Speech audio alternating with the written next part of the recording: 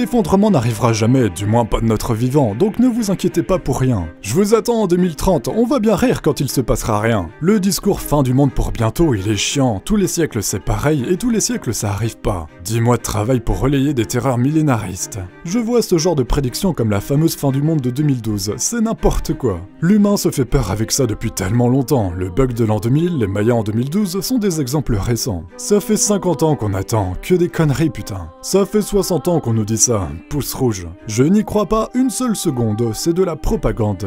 J'en peux plus de ces messages débiles, vous aurez tous l'air malin dans 50 ans quand vous vous rendrez compte que rien n'a changé. Je ne supporte plus ces gourous de l'apocalypse. Du vent, encore du vent, et de la prêche apocalyptique. Bien d'être un prophète pro-apocalypse, c'est ça le sérieux sur YouTube, faire peur aux naïfs avec des idées d'ahurie, comme quoi le QI moyen diminue dans ce monde. Vidéo qui fait dans le sensationnel, les prêcheurs de l'apocalypse ça existe depuis toujours. Bande de prêcheurs d'apocalypse, vous êtes pathétiques. Voici les Cassandres de l'apocalypse finale, et mon petit doigt me dit que le mec qui a fait cette vidéo est un trou du cul. Ce sont tous des illuminés complètement frappés et intellectuellement malhonnêtes. Dormez sur vos deux oreilles, c'est pas demain la veille que notre société va s'effondrer. J'ai l'impression de regarder une vidéo complotiste. Cette chaîne est bullshit conspirationniste primitif. Le discours de certains s'apparente à de la paranoïa souvent basée sur des idées reçues. Cette vidéo est ultra défaitiste, beaucoup trop longue, ridiculeusement conspirationniste et adressée à une audience qui pour la plupart sont des 14-25 ans à l'esprit encore fragile et influençable. Je trouve ça donc malhonnête cette accumulation de données dictées à la voix de robots dans le but de faire culpabiliser sous couverture de bien-pensance gauchiste et de dire une fois de plus l'occidental est un être nuisible. La collapsologie, le cancer de la gauche. C'est quasiment à chaque fois des mères de gauchistes alarmistes, aucun intérêt. Avec vos discours de gauchistes malsains, vous êtes hyper négatif, catastrophiste, alarmiste, cessez de répandre vos fake news qui font du mal. Toute cette mascarade gauchiste pour élire un écologiste en 2022. Propagande gauchiste. Les pauvres bobos, ils ne savent pas quoi faire alors ils attendent la fin du monde. Pourquoi faire de la pub aux collapsologues Pour faire paniquer les idiots? Les collapsologues, c'est juste une bande de dépressifs qui voient le mal partout sauf à l'intérieur d'eux-mêmes. El famoso collapsologue qui fantasme sur l'effondrement de notre civilisation. Ça remettrait notre monde à la hauteur de leur vie de merde. C'est le nouveau truc à la mode, cette branlette sur de la fiction pour les mecs qui se font chier. On donne du crédit à une bande d'hystériques qui s'accordent tous à dire sans le dire que ça va être Mad Max. C'est un ramassis de conneries tout ça, aucun d'eux inspire la confiance, c'est des paumés. Maintenant, les fous qui ont toujours existé annonçant la fin du monde sont considérés comme des savants. L'effondrement de notre civilisation égale fonds de commerce de ces charlatans. Les marchands de malheur. La collapsologie, un business juteux pour les prophètes de malheur. J'ai remarqué chez eux, la plupart dépassent la trentaine, donc on peut expliquer leur théorie par la crise de la quarantaine. En quelque sorte, c'est eux qui s'effondrent et ils pensent que c'est le monde. Je ne crois absolument pas à la collapsologie, pour moi c'est juste une idée bobo à la mode. La collapsologie est une mode ridicule, personne ne peut prédire le futur. La collapsologie, quel vaste sujet de défaitiste, pseudo-scientifique à dérive sectaire. C'est du grand n'importe quoi, j'ai perdu du temps à regarder ça. La collapsologie est une science basée sur rien d'autre que de l'air. C'est de la connerie, c'est à peu près aussi fiable que l'homéopathie. Ça m'énerve de voir tous ces gens qui jouent sur la peur en utilisant des termes de fin du monde, d'effondrement. Non mais n'importe quoi, faut arrêter avec votre réchauffement climatique. L'humanité ne disparaîtra pas à cause du réchauffement climatique. Faites vos recherches, vous vous apercevrez qu'il n'y a pas de réchauffement climatique en raison de l'activité humaine. Il n'y a pas de réchauffement climatique. L'écologie est une на Ханаке. Faut sortir de votre délire et de votre dépression écologique. 2 mètres d'augmentation du niveau des eaux d'ici 2100 Foutaise. Que du ressenti, rien de vraiment prouvé. Des hypothèses, rien que des hypothèses. La technologie nous sauvera. Ce bon bullshit culpabilisant et catastrophiste.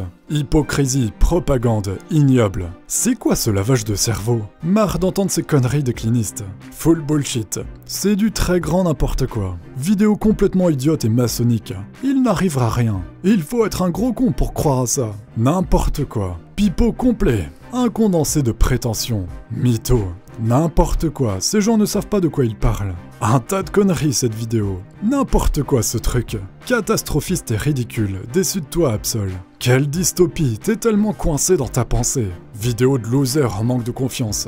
Une honte cette vidéo. Heureusement que cette vidéo est démonétisée et j'attends son strike avec impatience. Tu devrais avoir honte Absol de ce type de vidéo. C'est tellement bien qu'elle ne soit pas monétisée. Tu veux que les jeunes finissent tous au Prozac avec ces conneries? J'espère que cette vidéo sera supprimée. C'est totalement irresponsable ce que tu as fait Absol. Ras-le-bol de voir ces conneries en ce moment. Ça devient une vraie mode dégueulasse. J'aurais préféré être au courant de rien. Je dislike ta vidéo pour la première fois.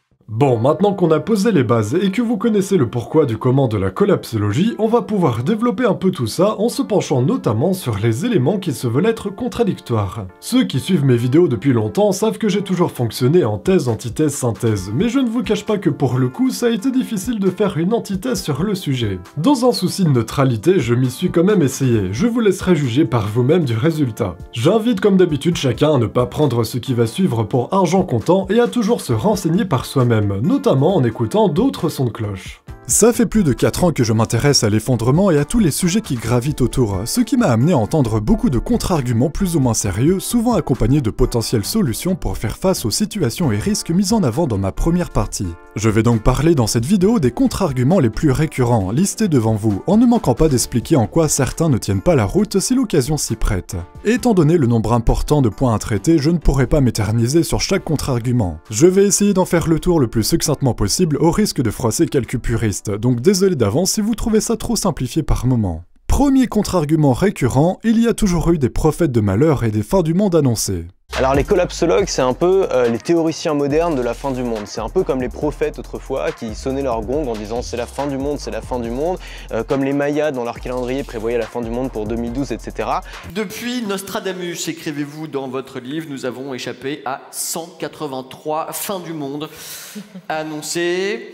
Dans quelle mesure euh, Pablo Servigne, ici présent, s'inscrit dans cette longue tradition des catastrophistes?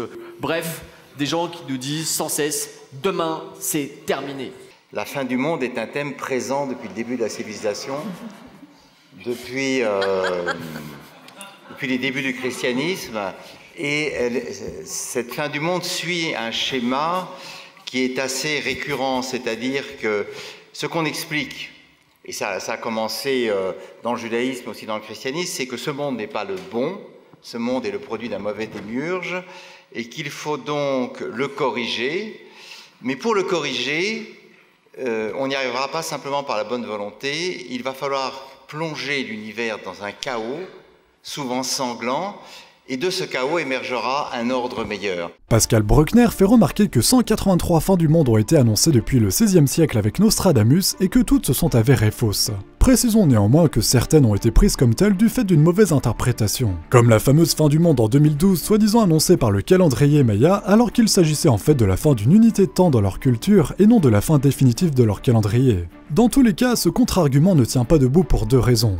Premièrement, les collapsologues ne parlent jamais de la fin du monde, mais de la fin d'un monde, ce qui est complètement différent. L'humanité n'a en effet jamais connu de fin du monde, mais comme on a pu le voir dans la première partie, nombre de civilisations ont vécu la fin de leur monde, autrement dit la fin de leur société, de leur culture et de leur mode de vie.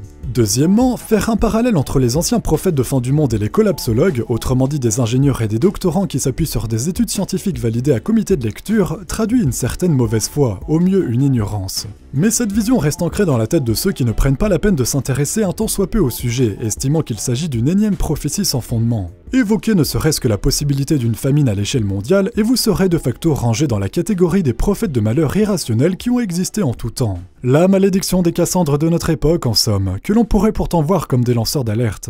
C'est vrai qu'on me prenait un peu pour un fou, euh, pour un emmerdeur, pour euh, voilà, c'était ça, ça, partait vite en blague. Euh. Tu voyais tout en noir. Ouais, enfin moi je sais faire des blagues là-dessus, donc c'était pas tant ça, c'était ça partait sur des blagues et puis on arrêtait d'en parler. Moi je me sens pas fou, je sais que c'est, j'ai suffisamment de preuves pour savoir que c'est pas moi qui déconne quoi. Donc la psych... non, j'ai pas besoin d'aller me faire soigner, c'est pas moi qu'il faut soigner, c'est le monde quoi. C'est pas facile d'en parler parce que d'une part, c'est une mauvaise nouvelle, donc c'est jamais être euh, positif d'annoncer ce genre de choses. Euh, d'autre part, c'est une nouvelle qui est quand même euh, énorme, donc on peut passer un peu pour, un, pour non crédible. On paraît pour des fous parfois, quoi. on paraît pour, pour des malades. Les sociétés vont s'effondrer. Oui, c'est ça. Je me suis dit, je ne peux pas ne pas en parler à ma famille, c'est pas possible. Donc, à plusieurs reprises, j'ai tenté d'aborder le sujet, mais euh, les réactions ont été très, très, très négatives. Avant même que je parle d'effondrement, quand j'exprimais mon inquiétude, juste exprimer mon inquiétude sur l'état des ressources du monde, sur euh, la surconsommation, de nombreuses personnes, quand je devenais un un peu convaincante peut-être, de nombreuses personnes avaient envie de me faire taire. Et donc me disaient, ah écoute, il faut pas penser à tout ça, euh, il faut pas être si négatif. De, de tout temps, il y a eu des personnes qui ont parlé de la fin du monde. C'est un sujet qui, qui fonctionne, parce que ça, ça surfe sur la peur des gens. Euh, pourquoi aujourd'hui il faudrait plus y croire qu'avant? Effectivement, euh, c'est un sujet qui, fonctionne sur, la peur des gens. En fait, ça devrait pas. Que ça, que la peur soit euh, arrive à un moment dans l'équation, c'est obligé, hein, effectivement. Mais il faudrait pas que volontairement on surfe là-dessus. hein. Il résume tout à justement certaines caricatures. Ah ben ça fait peur. Et c'est des gens qui font peur. Et on se méfie des gens qui font peur. À juste titre.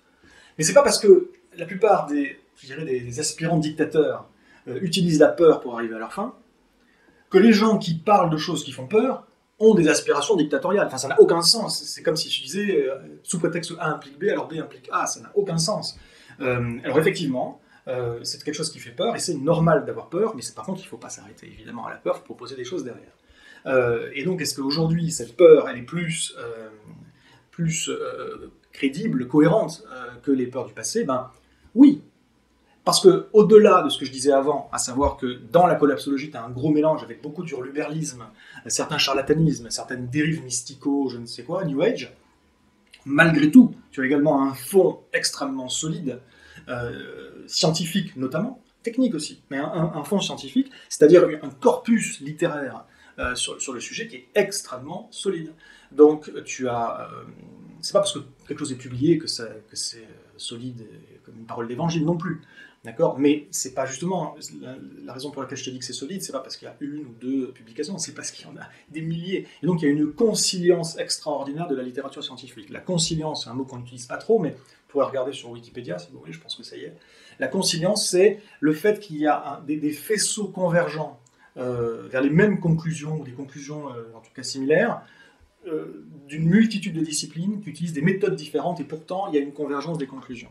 Et aujourd'hui, la littérature scientifique euh, pointe clairement sur des, limites de la, planète. Pour la première fois, non seulement c'est une problématique qui, a, qui est de, taille mondiale, enfin planétaire, et accessoirement, aujourd'hui, pour la première fois, on a un corpus scientifique extrêmement solide. C'est pour ça qu'il faut, faut- dépasser, je dis ça aux gens qui pourraient nous regarder et qui auraient des doutes encore vis-à-vis de la, de la collapsologie, qui pourraient se dire, oh, c'est une histoire de d'Hurluberlus, là, c'est des, des farfelus. Euh, non, non, non, non. Alors, il faut effectivement faire un travail de, de dégager, de trier le bon grain et l'ivraie. Il y a du bon grain là-dedans, et il y a des raisons tout à fait euh, rationnelles et rigoureuses pour s'inquiéter. Si par catastrophiste on sous-entend que cette théorie n'est qu'une pure fiction apocalyptique, fondée sur du vent, alors là il faudrait répondre non. Les prédictions de la théorie de l'effondrement ne se basent pas sur de la fiction mais des projections bien réelles.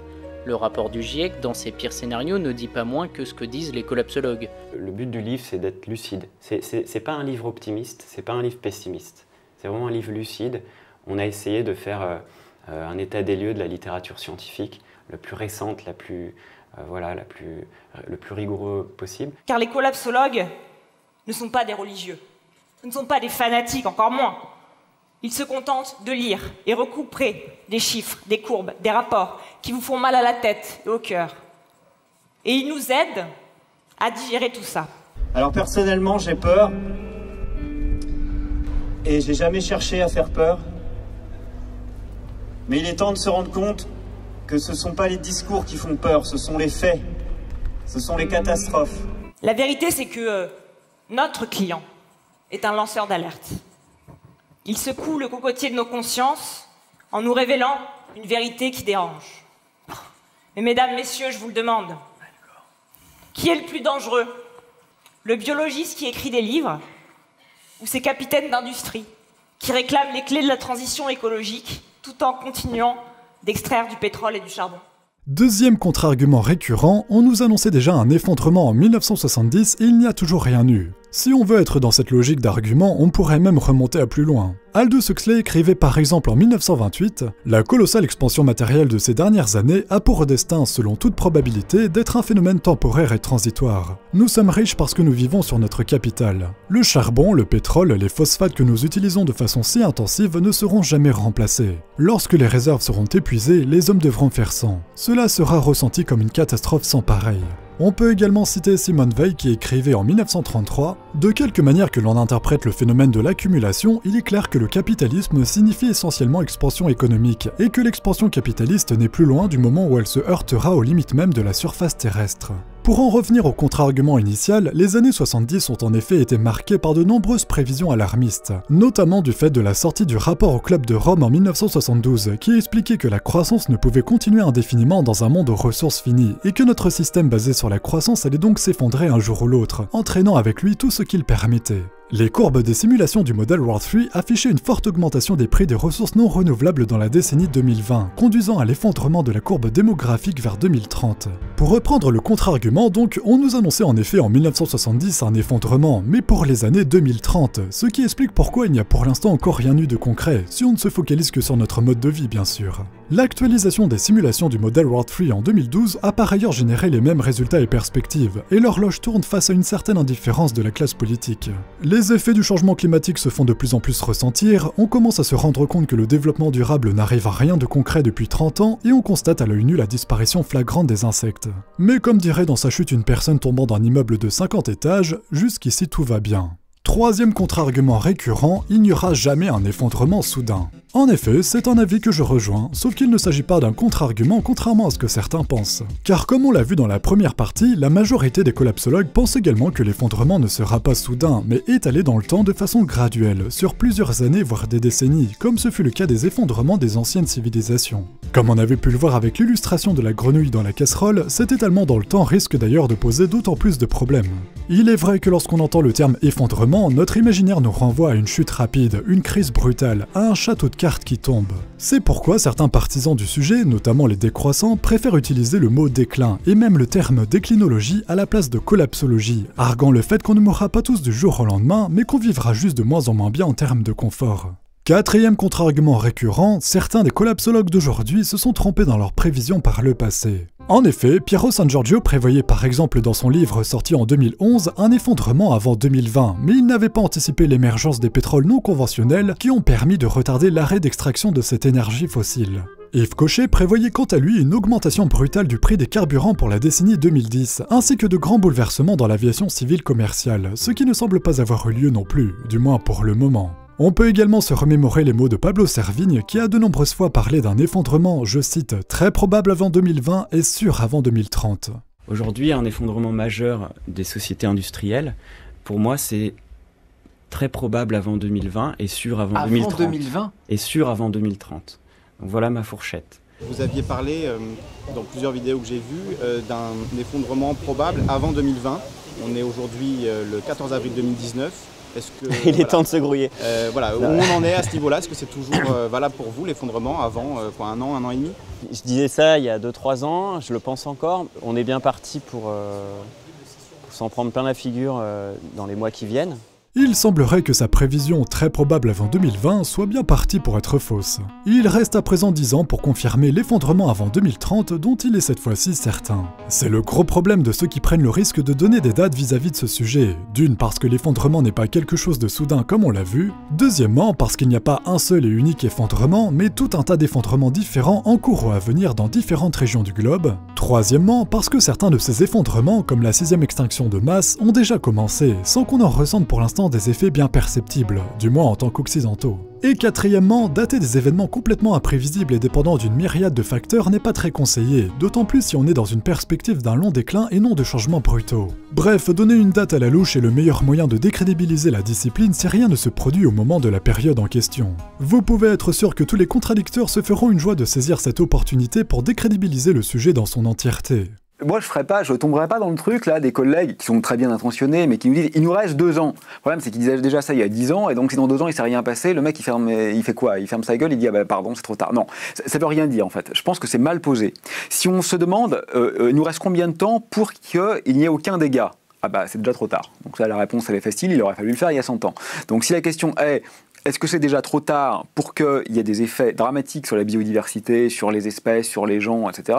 Oui, il est déjà trop tard. Ces effets vont avoir lieu, c'est certain. Néanmoins, certains se risquent quand même à donner des dates pour sensibiliser sur le fait que l'effondrement de la société industrielle, tel qu'on l'entend, risque d'être pour notre génération. Rajoutons à cela que la collapsologie s'appuie beaucoup sur la dynamique des systèmes. Or, celle-ci analyse les cheminements des différents systèmes dans un cadre temporel, ce qui fait inévitablement ressortir des conclusions elles aussi localisées dans des périodes bien définies.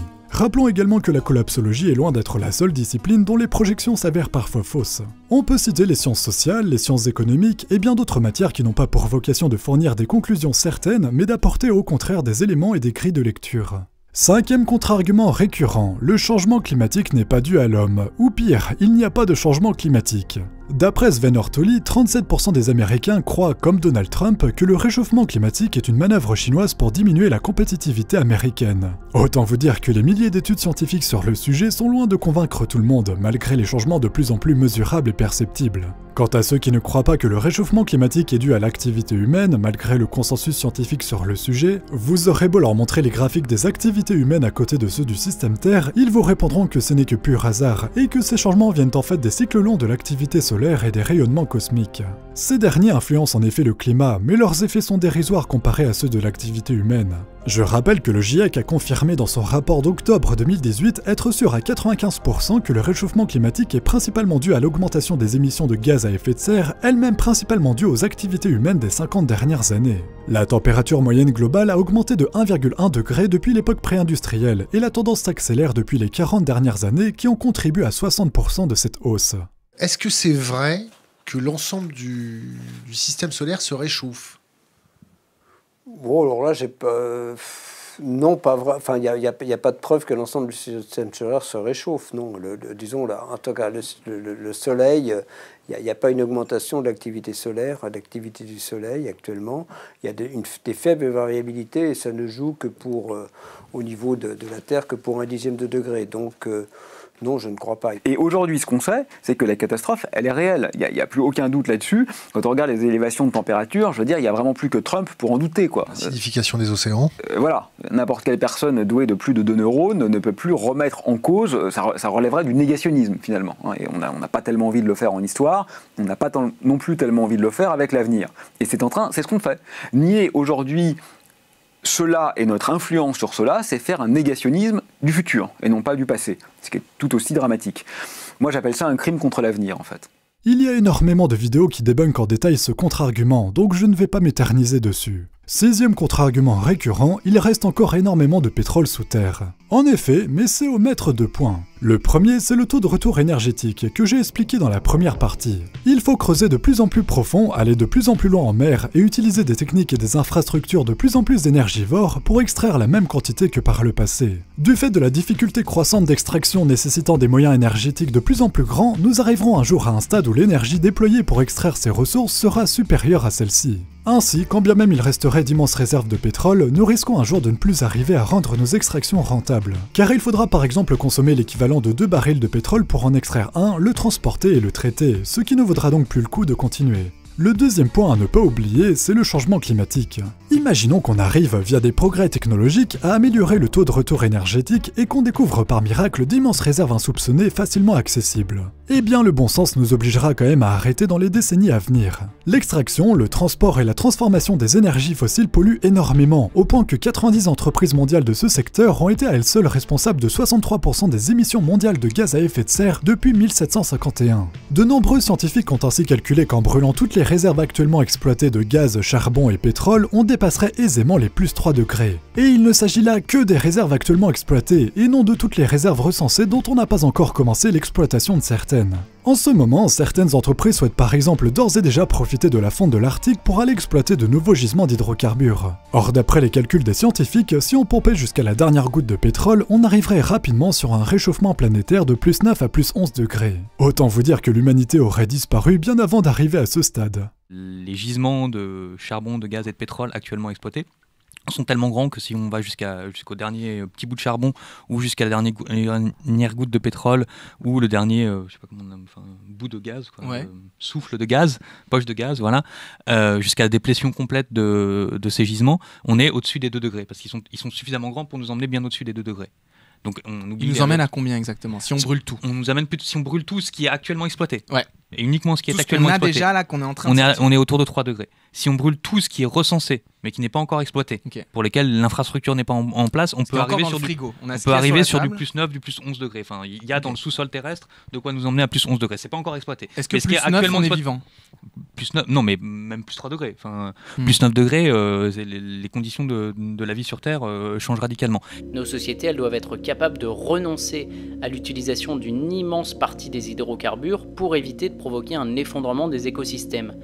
Et c'est ce renoncement qui créerait un choc pour notre civilisation, car sans pétrole, beaucoup moins d'acheminement et beaucoup moins de ressources qui dépendent de l'énergie pétrolière pour être produites dans les quantités actuelles. Que ce soit du fait d'un taux de retour énergétique trop bas ou de la menace du changement climatique, il va nous falloir un jour ou l'autre se passer des énergies fossiles, quand bien même celles-ci seraient encore abondantes, ce qui invalide donc ce sixième contre-argument. Septième contre-argument récurrent, le GIEC est trop alarmiste. Le groupe d'experts intergouvernemental sur l'évolution du climat, créé en 1988, est composé d'experts de 195 pays qui ont pour mission de synthétiser des milliers d'études scientifiques récentes sur le climat, les océans, les sols, la biodiversité, les calottes glaciaires, l'atmosphère, etc. Ces experts sont régulièrement renouvelés et leurs textes sont relus par des dizaines de milliers d'experts scientifiques avant toute publication publique. Les conclusions de leurs rapports sont toujours pires que celles des précédents, ce qui en toute logique n'a rien d'étonnant vu que la détérioration du système Terre est corrélée à l'augmentation de l'activité humaine qui n'a pour l'instant rencontré aucun frein. Évidemment, ces conclusions ne sont pas au goût de tout le monde, que ce soit pour les personnes qui souhaitent rester confortablement dans le déni ou pour les entreprises responsables de ces conséquences.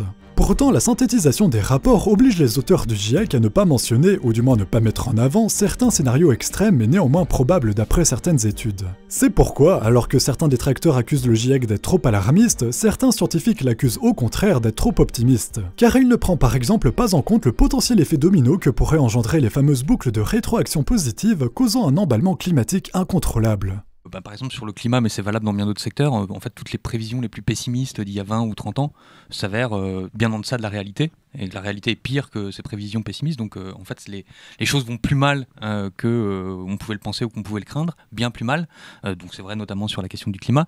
Dès qu'on parle de son métier, on est toujours très pointilleux. Et en fait, le problème des vrais spécialistes, c'est qu'ils ils vont toujours tempérer un peu, ils veulent être absolument sûrs d'être irréprochables, donc ils vont avoir tendance à revoir un peu à la baisse leur manière d'estimer les impacts. Et puis, pour être un peu consensuel, pour pas faire peur aux gens, pour pas se fâcher, pour être audible. Pour pas, pour pas flinguer sa carrière. Ça, je sais pas. Peut-être on, en reparle. Je suis pas sûr. Mais ils vont avoir tendance plutôt à minimiser le truc. Mais en croyant bien faire, hein, c'est pas un mensonge. Mais ils oublient qu'ensuite ces résultats, ils vont être rediscutés avec les lobbies, avec les pouvoirs publics, etc. Et donc ils vont être encore amoindris. Et à la fin, il reste plus rien. Il y a aussi un gros problème, c'est que ceux dont on entend le, qu'on entend le plus, ceux qui parlent le plus, euh, c'est souvent les gens qui s'y connaissent le moins. Parce qu'il y a cet effet qu'on a un effet en, psychologie sociale qu'on qu'on appelle l'effet Dunning-Kruger, également appelé l'effet de surconfiance, qui fait que ce sont les gens qui sont les moins compétents dans un domaine qui en parlent le plus parce qu'ils surestiment largement leurs compétences dans le domaine. Et ils croient, parce qu'ils sont très arrogants en plus, les gens dans l'innovation et tout ça, ou les élites, euh, ils croient que leur avis est pertinent. Ils croient que ça, que ça vaut la peine d'émettre un avis personnel sur la question. Parce que bon, ils croient avoir globalement tout compris, parce qu'ils ont regardé un peu, du ah, ben, c'est facile. Et donc, globalement, on entend des experts moins que les gens qui n'y connaissent rien, parce que les gens qui n'y connaissent rien font blablabla sur les médias, dans les réseaux sociaux, etc., alors que les experts en général parlent beaucoup moins, sous des formes qui ne sont pas grand public, etc. C'est une catastrophe totale. De plus, comme le souligne Hubert Reeves, de nombreuses entreprises et gouvernements discréditent et censurent certaines études scientifiques, jusqu'à payer des scientifiques de renom pour qu'ils fournissent de faux résultats allant dans leur sens. Pour finir sur ce contre-argument accusant le GIEC, je vous invite à lire cet article du journal Le Monde qui déconstruit très bien les 5 accusations les plus récurrentes que reçoit ce groupe intergouvernemental. Huitième contre-argument récurrent, la collapsologie n'est pas une science. En effet, la collapsologie consiste à analyser de manière systémique des milliers de travaux scientifiques de disciplines différentes, mettre en avant des corrélations et proposer des perspectives, mais ce n'est pas une nouvelle science en soi. Certes, la collapsologie permet de créer ce lien souvent absent entre les différentes disciplines scientifiques pour instaurer une nouvelle vision des choses plus globale, plus transdisciplinaire comme ils le disent. Mais la collapsologie ne produit pas de connaissances nouvelles au sens strict du terme, contrairement aux véritables sciences. Elle ne produit pas de travaux qui lui sont propres, car elle n'étudie pas des domaines qui n'ont jamais été étudiés, si tant est qu'il en reste encore. Mais beaucoup pensent à tort que la collapsologie est une science, notamment à cause de sa terminologie. Comme le souligne Jacques Beauvray sur France Culture, ce n'est pas parce que le mot finit par logie qu'il s'agit de quelque chose de scientifique.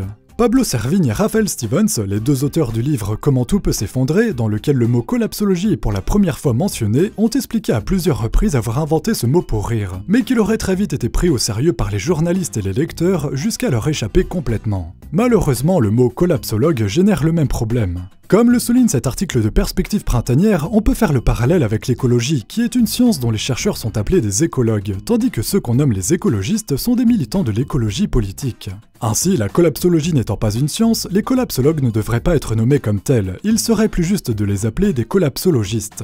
En effet, toujours selon cet article, la collapsologie est davantage un ensemble de courants politiques qu'autre chose, car comme d'autres mouvements politiques, elle analyse de façon globale et sur plusieurs plans l'état du monde et propose diverses solutions. La collapsologie propose un discours né d'interprétations qui peuvent tout à fait être discutables et soumises à débat. Bref, cette confusion est certes alimentée par les journalistes, mais elle est parfois également entretenue par certains collapsologues qui ont tout intérêt à ce que cette vision subsiste pour garder cette aura scientifique. Rappelons néanmoins que même si cette discipline n'est pas une science, ça n'enlève en rien la qualité des analyses et des perspectives qu'elle peut fournir, auxquelles chacun est libre d'adhérer ou non. La collapsologie est une thématique qui a au moins le mérite de s'appuyer sur des études scientifiques soumises à comité de lecture et d'être très critique envers elle-même. À titre personnel, la chose qui m'a le plus surpris lorsque j'ai lu le livre Comment tout peut s'effondrer a été le mot intuition glissé dans la définition de la collapsologie. Étant très terre à terre, peut-être parfois un peu trop, baser en partie ses prévisions sur des intuitions me semble être une erreur. Comme le rappelle Vincent Mignereau sur son site, toutes les intuitions ne mènent pas à des développements philosophiques pertinents, ni à de réelles découvertes scientifiques. Pourtant, Pablo Servigne concède régulièrement que son raisonnement est en partie intuitif, mais qu'il préfère faire le pari de l'effondrement. Vous êtes ensuite accusé de présenter vos conclusions comme le résultat de démarches scientifiques, alors qu'elles seraient en réalité surtout le fruit de vos convictions politiques et de vos angoisses existentielles personnelles. Et dans ce tribunal, nous appelons cela de la pseudoscience. Effectivement, j'ai un souci avec la collapsologie qui est, double. Euh, le premier souci que j'ai, c'est le vide méthodologique qui entoure la collapsologie. Euh, donc c'est pas parce que ça se termine par logique que c'est une science. Alors qu'il y ait une, volonté d'en faire quelque chose de, de solide, de sérieux, de un peu scientifique, euh, ok peut-être. Mais euh, c'est pas parce que la scientologie euh, s'appelle comme ça que c'est une science. Pour l'instant, c'est qu'un mot. C'est-à-dire qu'il n'y a pas le cadre conceptuel et méthodologique qui permet d'avoir une rigueur dans, euh, dans les débats, dans les, dans les débats entre guillemets scientifiques qui devrait y avoir sur ces questions-là. Et, et ça veut dire quoi? Ça veut dire qu'il n'y a pas de barrière à l'entrée, ça veut dire qu'il n'y a pas de, il n'y a pas de cadre euh, dans lequel les gens discutent et sous, contrôle, je dirais, d'autorités euh, sérieuses, scientifiques, euh, de gens qui connaissent bien le sujet, qui pourraient dire oui, mais non, pour telle raison, un débat éclairé, si tu veux, sur la question. La collapsologie, euh, j'aime bien le mot hein, à la base, mais ça n'existe pas. C'est un néologisme, c'est un mot, c'est pas une science, c'est pas un, champ scientifique ou disciplinaire, même pas aujourd'hui. c'est juste euh, un sujet, c'est un thème. Bon, bah, je travaille sur le même thème, euh, et par contre, euh, je ne me dis pas collapsologue. On a compris que euh, finalement la collapsologie ne pourrait pas être une science euh, qui serait interdisciplinaire puisque les systèmes sont trop complexes.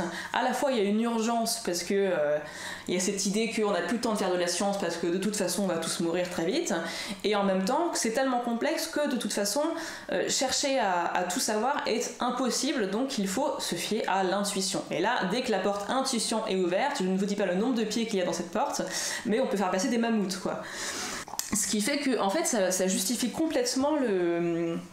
Après les sauts euh, vers, enfin, hors, hors scientificité, ça veut dire que euh, ensuite tout ce qu'ils ramassent, qui leur semble intéressant, euh, vont pouvoir rentrer dans le domaine de ça me semble pas mal, quoi, qui colle avec l'idée d'intuition. Pablo Servigne, vous êtes tout d'abord poursuivi du chef d'accusation de pseudoscience. Vous êtes en effet la parfaite incarnation d'une célèbre expression française qui est que lorsque l'on veut tuer son chien, on dit qu'il a la rage. Vous avez vite compris au cours de votre existence que le monde se divisait en deux catégories. Ceux qui avaient pour fascination le sublime et ceux qui avaient pour fascination le monstrueux. Et n'ayant aucune appétence particulière pour la beauté, vous avez choisi d'appartenir à cette seconde catégorie et de faire de la catastrophe, du ravage et de l'effondrement votre cheval de bataille. Mais pour être le plus persuasif possible, il vous fallait apporter une légitimité scientifique.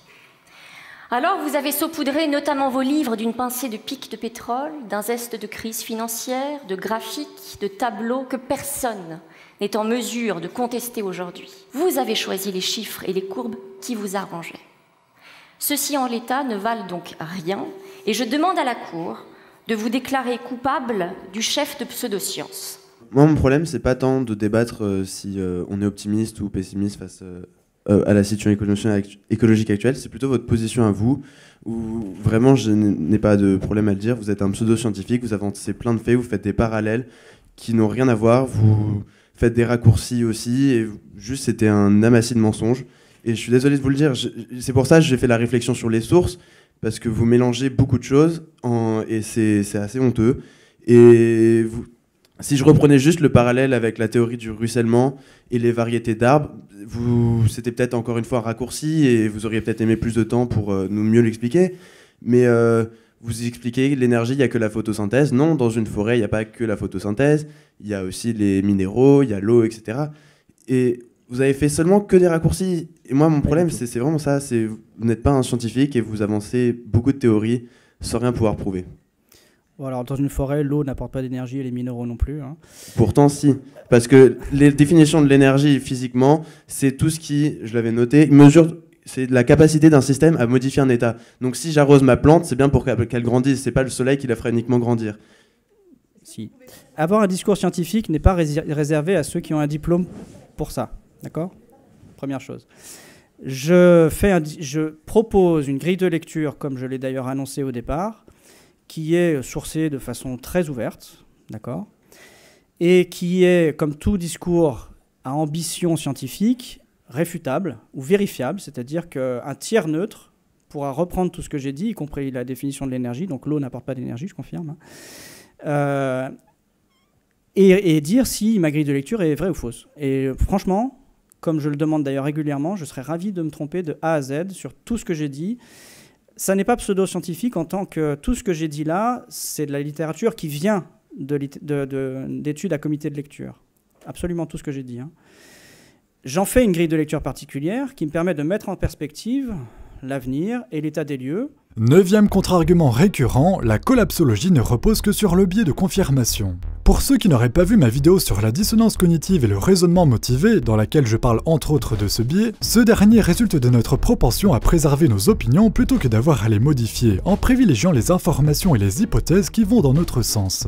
On donne ainsi plus de crédit et de poids aux vidéos, articles, études et opinions qui confirment nos pensées, ce qui ne fait que renforcer d'autant plus ce qu'on pensait déjà, créant alors un cercle vicieux. En rejoignant la quasi-totalité des groupes Facebook sur la collapsologie, j'ai constaté que les membres y partageaient le moindre article confirmant de près ou de loin les propos des collapsologues, jusqu'à reconnaître dans chaque mauvaise nouvelle un nouveau signe qui confirmerait la théorie de l'effondrement, indépendamment du caractère réversible ou irréversible de ce qui l'a provoqué ou de ce qui en détermine l'intensité, comme le dit Jérémy Cravate. Faites l'expérience un jour de rejoindre tous les groupes Facebook sur la collapsologie et de suivre tous les comptes Twitter spécialisés dans ce domaine. Lisez tout ce qui s'y dit ainsi que tous les articles et vidéos qui y sont partagés, et je peux vous assurer qu'au bout d'une semaine, vous aurez l'impression que notre société va s'effondrer dès demain. Ce cumul d'informations allant dans le sens de la collapsologie peut ainsi être accusé de millefeuille argumentatif, comme certains ont pu le faire sous ma première partie. Je ne me dis pas collapsologue. J'essaie d'avoir le plus de rigueur possible dans mon approche et une démarche scientifique. Une démarche scientifique, c'est quoi? C'est que j'ai, comme tout scientifique, une intuition, ou des intuitions. Mais plutôt que d'essayer d'aller chercher dans la littérature scientifique des éléments qui me permettent de, me permettent de conforter cette, cette- cette intuition, je vais faire l'exact contraire. Je vais essayer d'aller chercher des choses qui démontent cette intuition et qui l'invalident. Et ce n'est que si mon intuition passe le test que je considère qu'elle est solide.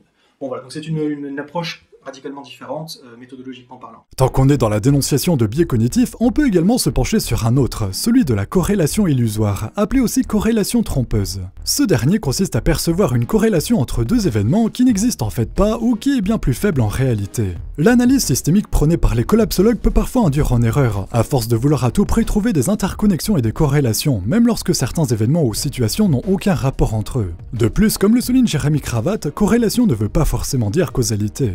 Bon, ne soyons pas non plus de mauvaise foi, il faut quand même avouer de manière objective que la majorité des actualités n'annoncent rien de bon pour les décennies à venir, sans parler des milliers d'études scientifiques également pessimistes sur la question. Dixième contre-argument récurrent, la collapsologie comporte des dérives sectaires. Un contre-argument généralement énoncé par les mêmes personnes qui font le parallèle avec les prophètes de fin du monde.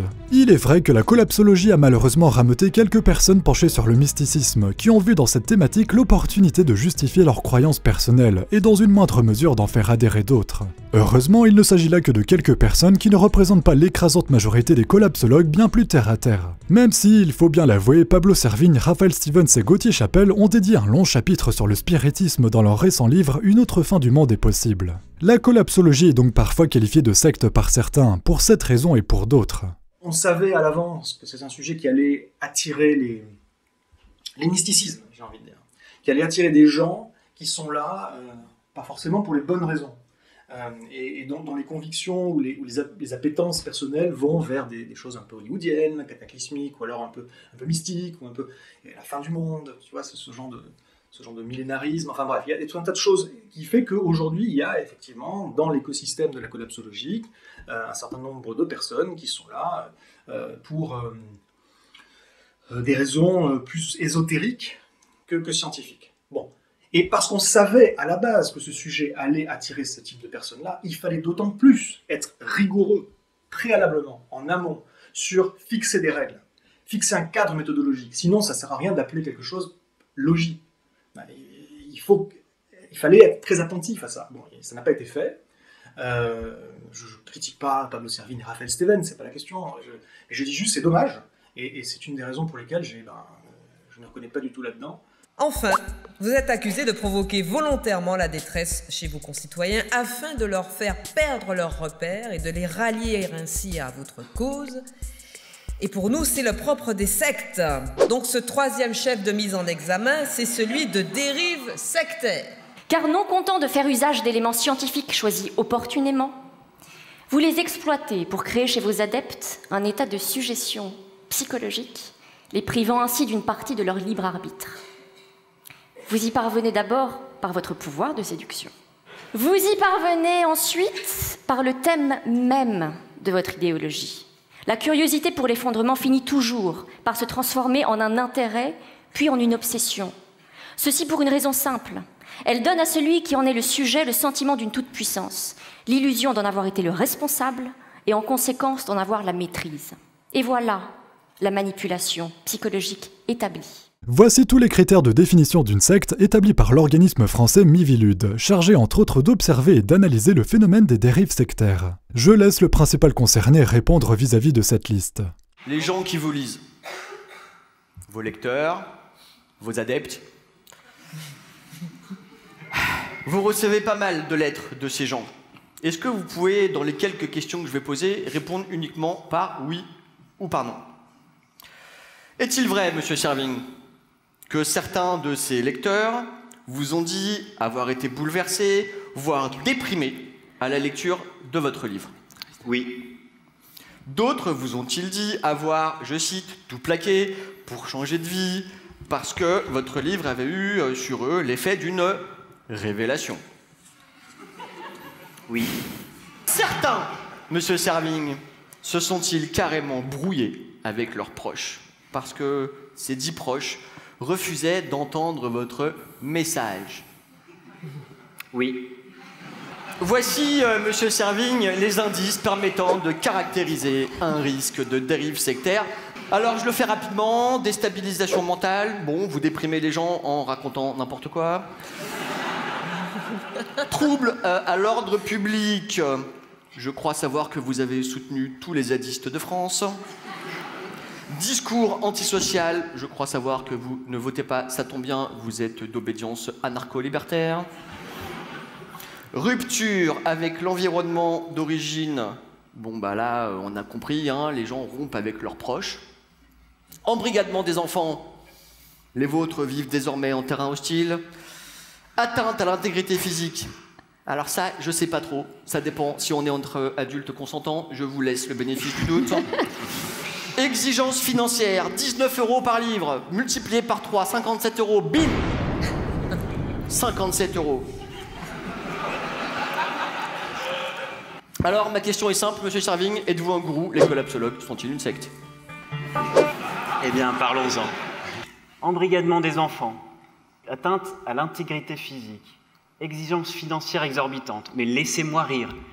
Êtes-vous sérieux? Absolument. Alors, la, la- la deuxième la, et la troisième colonne, c'est du grand n'importe quoi. Par contre, la première, ah, je vous l'accorde, il y a quelque chose de troublant. Certes, le message que nous portons est toxique. Si quelqu'un, vous êtes chez vous et toque à votre porte, c'est votre voisin et vous dit Le- l'immeuble est en feu, le rez-de-chaussée brûle, qu'est-ce qui est toxique? Le voisin? Ou l'incendie ou le feu Ce que nous avons voulu faire, nous, avec les, avec les bouquins, avec les conférences, avec les ateliers, etc., c'est populariser cette notion pour essayer de prendre soin du, du lecteur, de ceux qui découvrent ça. Pourquoi? Pour aller lutter contre le feu. Il ne s'agit pas de claquer la porte au voisin et de dire Va-t'en, tu me fais peur. Non, mais d'avoir le courage d'ouvrir la porte, d'aller avec le voisin éteindre le feu. Une secte, c'est quoi? Sectarer, c'est couper, couper les liens avec l'entourage pour, que- pour affaiblir les gens. Et nous, ce qu'on fait, c'est prendre soin pour qu'ils fassent des liens avec leur entourage, leur entourage pour qu'ils restent debout, pour euh, ne pas tomber, ne pas euh, s'effondrer justement intérieurement euh, dans les tempêtes à venir. C'est exactement l'inverse d'une secte. Je vous prenais pour un anarchiste, vous êtes simplement un catholique. Monsieur le procureur, vous avez des mots, des mots sympathiques, mais regardez ce tableau. Ne voyez-vous pas dans ces, dans ces dix critères la définition d'une multinationale Je vous laisse réfléchir, encore une fois. Oui, donc en fait, vous prenez l'autonomie pour lutter contre la dépendance. C'est tout l'inverse euh, d'une secte, ça, procureur Keller. Rajoutons à cela que la collapsologie, à l'inverse des sectes, comporte en son sein une pluralité d'opinions et de croyances très variées, allant d'un extrême à l'autre. La collapsologie est clairement aux antipodes de la pensée unique. Onzième contre-argument récurrent, les collapsologues utilisent la peur pour vendre des produits et services. Ah, les fameux marchands de peur.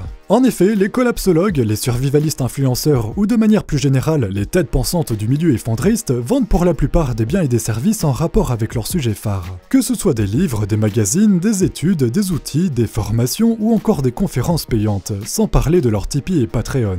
Il est difficile de savoir si ces derniers se sont spécialisés dans ce sujet sans arrière-pensée commerciale, ou si tout est calculé depuis le début pour vendre des livres et des formations. Dans tous les cas, il faut toujours prendre un certain recul avec les discours qui servent à vendre des produits et des services, et ça ne s'applique pas qu'au milieu effondriste, la publicité excelle dans ce domaine par exemple. Dernièrement, la SNCF a commandé pour 50 000 euros à Yves Cochet un rapport intitulé Biorégion 2050, l'île de France après l'effondrement, censé décrire ce qui attend les Parisiens à l'horizon 2050 en termes de mobilité. Quant au livre le plus connu de la collapsologie, Comment tout peut s'effondrer, il est classé dans les 25 essais les plus vendus en France depuis 2018, avec plus de 50 000 ventes à l'heure actuelle. Un domaine qui peut donc être assez rémunérateur pour de rares cas, mais ça ne veut pas dire pour autant que les collapsologues se soient emparés de ce sujet par appât du gain, d'autant plus que cette thématique était un sujet de niche lorsque la plupart s'y sont lancés. Figurez-vous, mesdames, messieurs, que euh, cet homme est célèbre. Ça marche bien pour lui. Il y a un business de la collapsologie. Comment tout peut s'effondrer, votre euh, premier album? S'est écoulé à 500 000 exemplaires 50 000 exemplaires, pardon. Vous avez enchaîné derrière, ça marchait bien, donc avec euh, un deuxième album, celui de la maturité, comme on dit. L'entraide, l'autre loi de la jungle, et maintenant voici euh, une autre fin du monde est possible. C'est quoi la prochaine étape? Netflix? Franchement, si j'avais voulu faire de l'argent, j'aurais pas écrit des livres. J'aurais été bossé chez Engie ou chez Total. Là, j'aurais été sûr de faire de l'argent. Je, travaille comme, euh, comme consultant, je travaille comme formateur et comme conférencier, mais, j'ai, très honnêtement, euh, je n'en fais pas aujourd'hui un modèle économique. hein. C'est-à-dire qu'il y a relativement encore peu d'organisations qui sont suffisamment mûres pour euh, m'accueillir en leur sein et comprendre que ce que j'apporte peut avoir une valeur euh, ajoutée stratégique pour eux. Rajoutons à cela que la collapsologie repose sur des faits, certes des interprétations de faits, mais ça ne reste pas moins des faits reconnus. Et la véracité de ces derniers ne va pas changer parce que certains les utilisent peut-être pour vendre ou propager des idées. Car oui, n'oublions pas non plus qu'outre le gain financier, certains peuvent tirer parti de ce sujet pour propager plus facilement des idéologies souvent extrêmes, comme les politiques qui jouent sur la peur pour faire passer des lois qui ne seraient pas passées en temps normal. Et on arrive justement au douzième contre-argument récurrent, la collapsologie est une propagande d'extrême gauche. Toujours drôle d'entendre cette remarque quand on sait que d'autres personnes accusent au contraire la collapsologie d'être une gentrification du survivalisme et de compter en son sein des personnalités d'extrême droite. La collapsologie est donc à la fois accusée d'être une propagande d'extrême gauche car elle pointe du doigt l'activité débridée des pays occidentaux et prône régulièrement la décroissance, mais est tout autant accusée de s'appuyer sur des travaux d'auteurs d'extrême droite et d'avoir en son sein des personnalités de ce milieu. Pour ce qui est de ces fameux auteurs, on peut notamment citer Dmitri Orlov, Carl Gustav Jung, Mircea Eliade ou encore Piero San Giorgio. Dmitri Orlov, l'auteur des 5 stades d'effondrement, est notamment accusé d'être un complotiste xénophobe et homophobe. En témoignent ces quelques lignes écrites fin 2018. Mircea Eliade, décédé en 1986, était quant à lui membre avant-guerre du parti fasciste et antisémite et partageait régulièrement son admiration pour diverses personnalités d'extrême droite. Carl Gustav Jung, décédé en 1961, a collaboré avec les nazis de 1933 à 1939, puis a préfacé en 1960 de manière élogieuse un livre du néo-nazi mystique Miguel Serrano, qui voyait en Hitler un avatar de Et de Vishnu, promis à revenir pour sauver le monde. Les collapsologues, et notamment Pablo Servigne et Raphaël Stevens avec leurs deux livres Comment tout peut s'effondrer et Une autre fin du monde est possible, sont ainsi accusés de s'appuyer sur les travaux de ces personnes et de les noter en référence sans aucune remarque vis-à-vis de leur idéologie, en guise de mise en garde. Certains analystes ont d'ailleurs souligné que les discours de l'effondrement proviennent historiquement de courants conservateurs et réactionnaires, qui voyaient dans l'évolution des mœurs des manifestations de la décadence civilisationnelle. On cite les sources, donc euh, je vais citer la mienne. euh, C'est un interview de Pablo Servigné, qui est le co-théoricien de la collapsologie dans Le Monde le 4 janvier 2018. Et je le cite Être catastrophiste, ce n'est pas être pessimiste ou optimiste, c'est être lucide. Alors, au-delà de- d'un attentisme manifeste, est-ce que la collapsologie n'est pas finalement une entrave délibérée au progrès écologique accompli, aux différentes perspectives d'avenir qu'on peut avoir? Et je vais reformuler ma question en citant cette fois-ci un article de Libération. Est-ce que la co- collapsologie, qui est finalement une pseudoscience, ne fait-elle pas de vous un réac? Excellente question et merci beaucoup de l'avoir posée parce que je ne suis pas collapsologue pour ces raisons précises. C'est exactement les raisons précises qui m'ont fait écrire un texte il y a presque deux ans maintenant et annoncer l'été dernier sur Arrêt sur Image. Donc l'émission, vous la connaissez peut-être pas, mais euh, elle est- elle est accessible en ligne. Vous tapez Arrêt sur Image, Mignoro ou Effondrement ou Collapsologie, peu importe. La première chose que j'ai dite quand on m'a parlé de collapsologie, c'est je ne suis pas collapsologue. La collapsologie est une étiquette ou euh, une espèce de discours chapelle qui englobe tous les discours de l'effondrement et leur grande diversité sous une seule ligne qui n'est pas la mienne, du tout, qui développe des propos prescripteurs totalement réac, tout à fait d'accord, mais de façon très subtile. Donc il faut les diagnostiquer, il faut aller les chercher dans le texte. Euh, et qui, je pense, sont la continuation du modèle euh, conservateur et euh, vraiment le, développement des illusions sur, sur, sur le risque d'effondrement. Donc, en fait, il y a eu trois étapes. J'ai discuté encore avec Pablo Servigne il y a dix jours. Donc, je suis en échange avec lui direct sur toutes ces questions-là parce que je suis celui qui a émis la critique de la collapsologie en premier, en fait. Et j'en informe Pablo parce que je ne le prends pas à revers et je lui dis dans ton texte, tu as écrit ce truc-là qui est un, pro- un propos euh, vraiment plus que borderline euh, pour l'avenir, quoi. Voire clivant, voire générateur de violence sociétale, voire euh, méprisant pour des formes de spiritualité qui existent et que tu ne veux pas intégrer dans ton discours, etc., etc. Ayant partagé quelques travaux et citations de Dmitri Orlov et Piero San Giorgio dans ma première partie sur l'effondrement, j'ai également eu le droit à bon nombre de reproches à ce sujet. J'ai simplement fait en sorte de partager des avis de personnes venant d'horizons différents avec des mentalités différentes pour justement montrer que ce sujet concerne tout le monde et que ce n'est pas une question idéologique.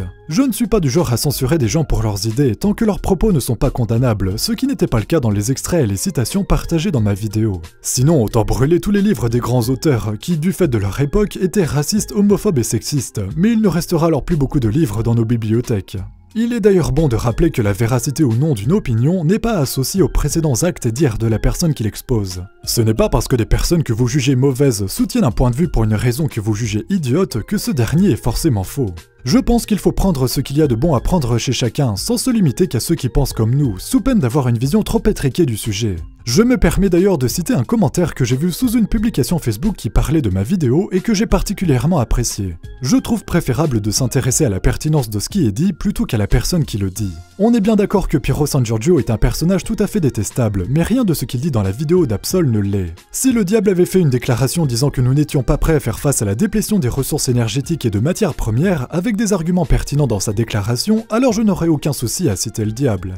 Je me suis toujours efforcé tant bien que mal d'être le plus neutre possible, parfois sans grande réussite, je l'avoue, en essayant d'aborder des sujets de la manière la plus factuelle possible, sans prendre parti. Ce n'est donc pas pour privilégier un discours plus qu'un autre, surtout quand chacun dresse les mêmes constats, et encore moins pour préciser que telle ou telle citation est issue d'un méchant extrémiste.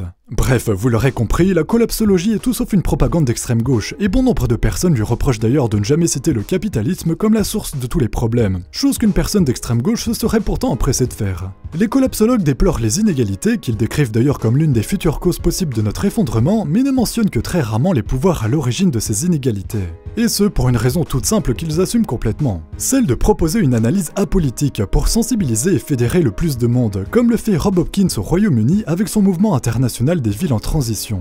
La majorité des collapsologues souhaitent donc politiser le moins possible cette discipline, bien que ces conclusions amènent rapidement à s'interroger sur des changements politiques.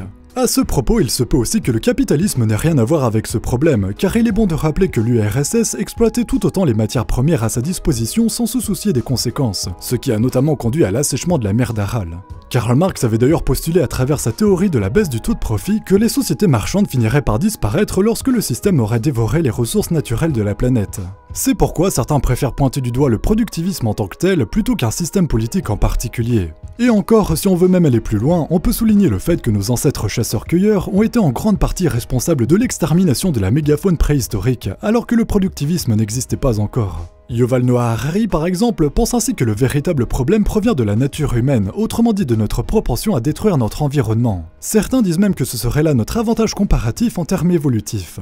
Ainsi, le capitalisme ne serait finalement peut-être qu'un symptôme. Le problème principal viendrait finalement de l'accès abondant aux ressources pour une espèce qui a tendance à ne pas se contrôler, ou du moins se limiter d'elle-même. Bref, pour finir, je trouve personnellement, et ce n'est que mon avis, que les concepts d'extrême gauche et d'extrême droite sont de toute manière devenus assez subjectifs de nos jours. Certains y rangent un peu tout et n'importe quoi quand ça les arrange. Vous pouvez par exemple très bien être membre du Parti communiste, mais être quand même qualifié de personne d'extrême droite sur les réseaux sociaux si vous avez le malheur de ne pas être d'accord à 100% avec une personne se disant lutter pour la justice sociale. Entendons-nous bien, je ne défends pas les auteurs ouvertement xénophobes cités précédemment, mais je souhaite juste souligner le fait que qualifier la collapsologie de propagande d'extrême gauche est aussi bête que la qualifier de mouvement d'extrême droite. Les risques d'effondrement nous concernent tous, qu'on soit de gauche ou de droite. C'est comme lorsque j'entends que le survivalisme est un truc d'extrême droite. À croire que si on n'est pas de ce bord politique, on n'a pas le droit de se préparer de la sorte face aux risques qui se profilent à l'horizon. L'effondrement et les potentielles conséquences du changement climatique qui nous guettent concernent l'espèce humaine dans son entièreté. Et la hausse des températures se fiche bien de notre idéologie et de nos petites querelles politiques.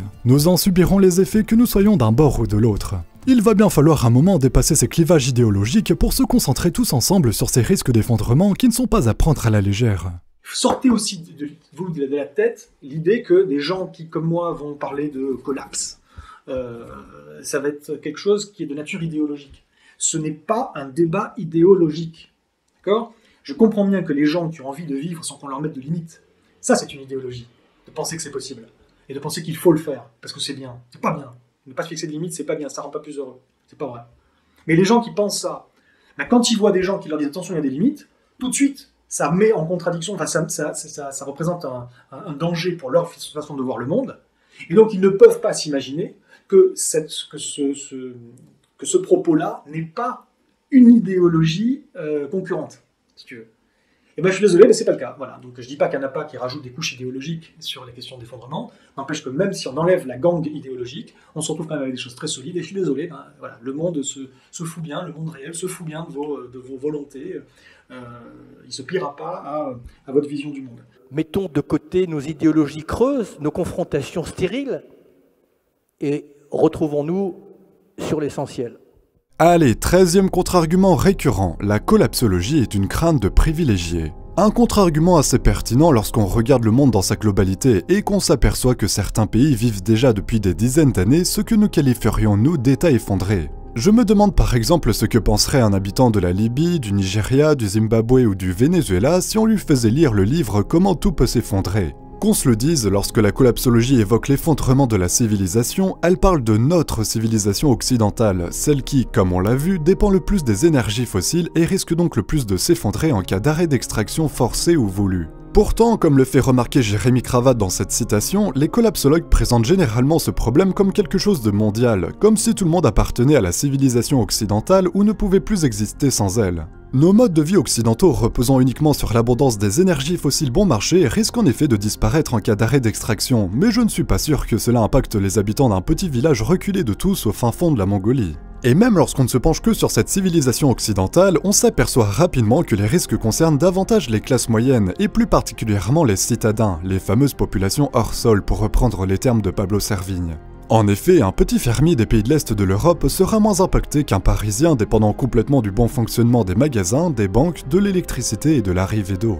Même rien qu'en France, envoyez donc un citadin de la classe moyenne expliquer à un petit agriculteur endetté qu'on risque d'avoir une baisse radicale de notre confort et il lui rira au nez. Bref, la peur de l'effondrement ne serait-elle finalement qu'une crainte de privilégié C'est la question qu'on peut se poser. Soulignons néanmoins qu'un effondrement de notre civilisation industrielle signerait la fin de la médecine moderne et des médicaments, ce qui pour le coup affecterait tout le monde, ruraux comme citadins. Et puis je parle depuis tout à l'heure d'un effondrement dû à une absence d'énergie fossile, mais il va de soi que les pays pauvres subiront et subissent déjà de plein fouet les effets du changement climatique, et ne sont donc pas à l'abri non plus de certains risques recensés par la collapsologie. Quand il y a des gens qui vous disent on fonce droit dans le mur ou on fonce droit sur la falaise et on risque de tomber. Eh bien déjà l'image est mauvaise. Parce que si on prend cette image, moi je veux bien, toutes les images sont bonnes, un bateau qui sombre, euh, un autocar qui tombe dans une falaise, enfin un avion qui, qui s'écrase. On est déjà en train de tomber dans la falaise.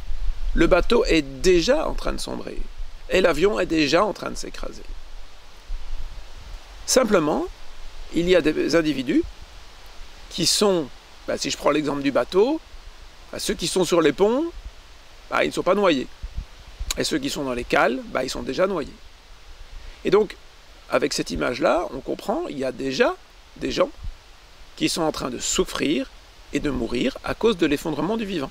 De toute façon, on s'arrêtera que quand ça nous retombera dessus. Ah bah de toute façon, moi je pense qu'on va s'arrêter le jour où il y aura un gros cataclysme majeur dans un pays occidental et développé. Genre, euh, j'en sais rien, mais une sécheresse à New York qui fait que la ville est dans une merde noire, qu'il y a des gens qui meurent de soif, qu'il y a un truc où tu te dis, mais merde, putain, c'est dans une mégalopole de gens qui sont développés, qui ont de l'argent, qui ont les moyens, qui l'ont vu venir et pourtant ils meurent. Et là, les gens vont se dire, là il y a un problème. Tant que ça atteint les populations, euh, les pays émergents, ils s'en foutent. Euh, les pays euh, qui ont des conditions climatiques complexes, on s'en fout. C'est-à-dire que malheureusement, quelqu'un va te dire ouais, au Darfour, il meurt de soif, ou au Soudan, il meurt de soif. Mais en fait, dans la tête des gens, ils, ont toujours ils sont toujours morts de soif. Donc même si les gens disent euh, là-bas, ouais, mais attendez, nous c'est vraiment chaud, avant ça allait pas, et là c'est de moins en moins, on va dire, mais c'est normal, c'est un pays où vous avez pas d'eau, c'est normal. Les gens vont prendre conscience, alors qu'il y a déjà des, alertes, mais hallucinantes. hein. Quand tu vois les changements climatiques qu'il y a eu en Afrique, il y a plein d'endroits, il y a des endroits où tu te dis, mais là tu vois bien que ça part grave en couille. Mais tant que ça n'atteindra pas un pays développé et où, qui se pense à l'abri, les gens réaliseront pas et continueront de vider les mers, de défoncer les trucs, de polluer, tout. Moi, je te dis, hein, famine à New York ou sécheresse à New York ou n'importe quelle grosse ville euh, mondiale, machin, là, les gens vont commencer à se dire, merde, c'est peut-être un peu la merde quand même, tu vois. Malheureusement, il sera peut-être un peu trop tard du coup. Ah bah, je pense qu'il est, on est On déjà pourra plus amorcé, revenir en voilà, arrière. voilà, exactement. C'est quand même triste de constater qu'une partie d'entre nous a besoin de se sentir menacée pour enfin ouvrir les yeux sur tous les problèmes de notre monde et ceux qui se profilent, alors que l'effondrement des écosystèmes a commencé depuis des dizaines d'années. Les reportages sur la disparition des ours polaires et des abeilles, c'est bien beau, ça nous touche sur le moment, mais ils sont aussitôt oubliés le lendemain lorsqu'on retourne à notre petit train de vie. En revanche, un collapsologue qui explique pourquoi il y a un fort risque de perdre notre confort et peut-être même notre vie dans les prochaines décennies aura toute l'attention de son auditoire, qui n'arrivera plus à se sortir cette pensée de la tête. À ce propos, n'est-ce pas ironique d'avoir peur de perdre ce qui est responsable de la sixième extinction de masse et de la pollution mondiale? Question à cogiter. Quatorzième contre-argument récurrent, les responsabilités sont les mêmes au regard des collapsologues. En effet, de la même façon que la collapsologie ne pointe jamais du doigt le capitalisme, elle ne pointe jamais véritablement du doigt les plus gros responsables de l'état actuel de notre monde, et préfère mettre les responsabilités de chacun dans le même panier, qu'importe que vous soyez un petit ouvrier ou une entreprise internationale. Pourtant, d'après le rapport Carbon Majors Report de l'association CDP, publié en collaboration avec l'Institut de la responsabilité climatique en juillet 2017, 100 entreprises totalisent à elles seules 71% de la pollution planétaire annuelle, la plupart d'entre elles étant liées de près ou de loin aux énergies fossiles. Rappelons également que d'après le rapport d'Oxfam International du 22 janvier 2018, plus de 80% des richesses produites par la destruction des écosystèmes et l'émission de gaz à effet de serre l'ont été pour satisfaire 1% de la population mondiale. Nous serions tous dans le même bateau. Peut-être oui, mais dans ce cas, une petite minorité est à la barre, tandis que la majorité reste dans la cale, comme le souligne Jérémy Cravate, qui rappelle d'ailleurs que la majorité de la population mondiale n'a jamais pris l'avion. D'ailleurs, pour continuer sur cette métaphore, devinez qui sont les premiers touchés lorsque le bateau se heurte à un iceberg.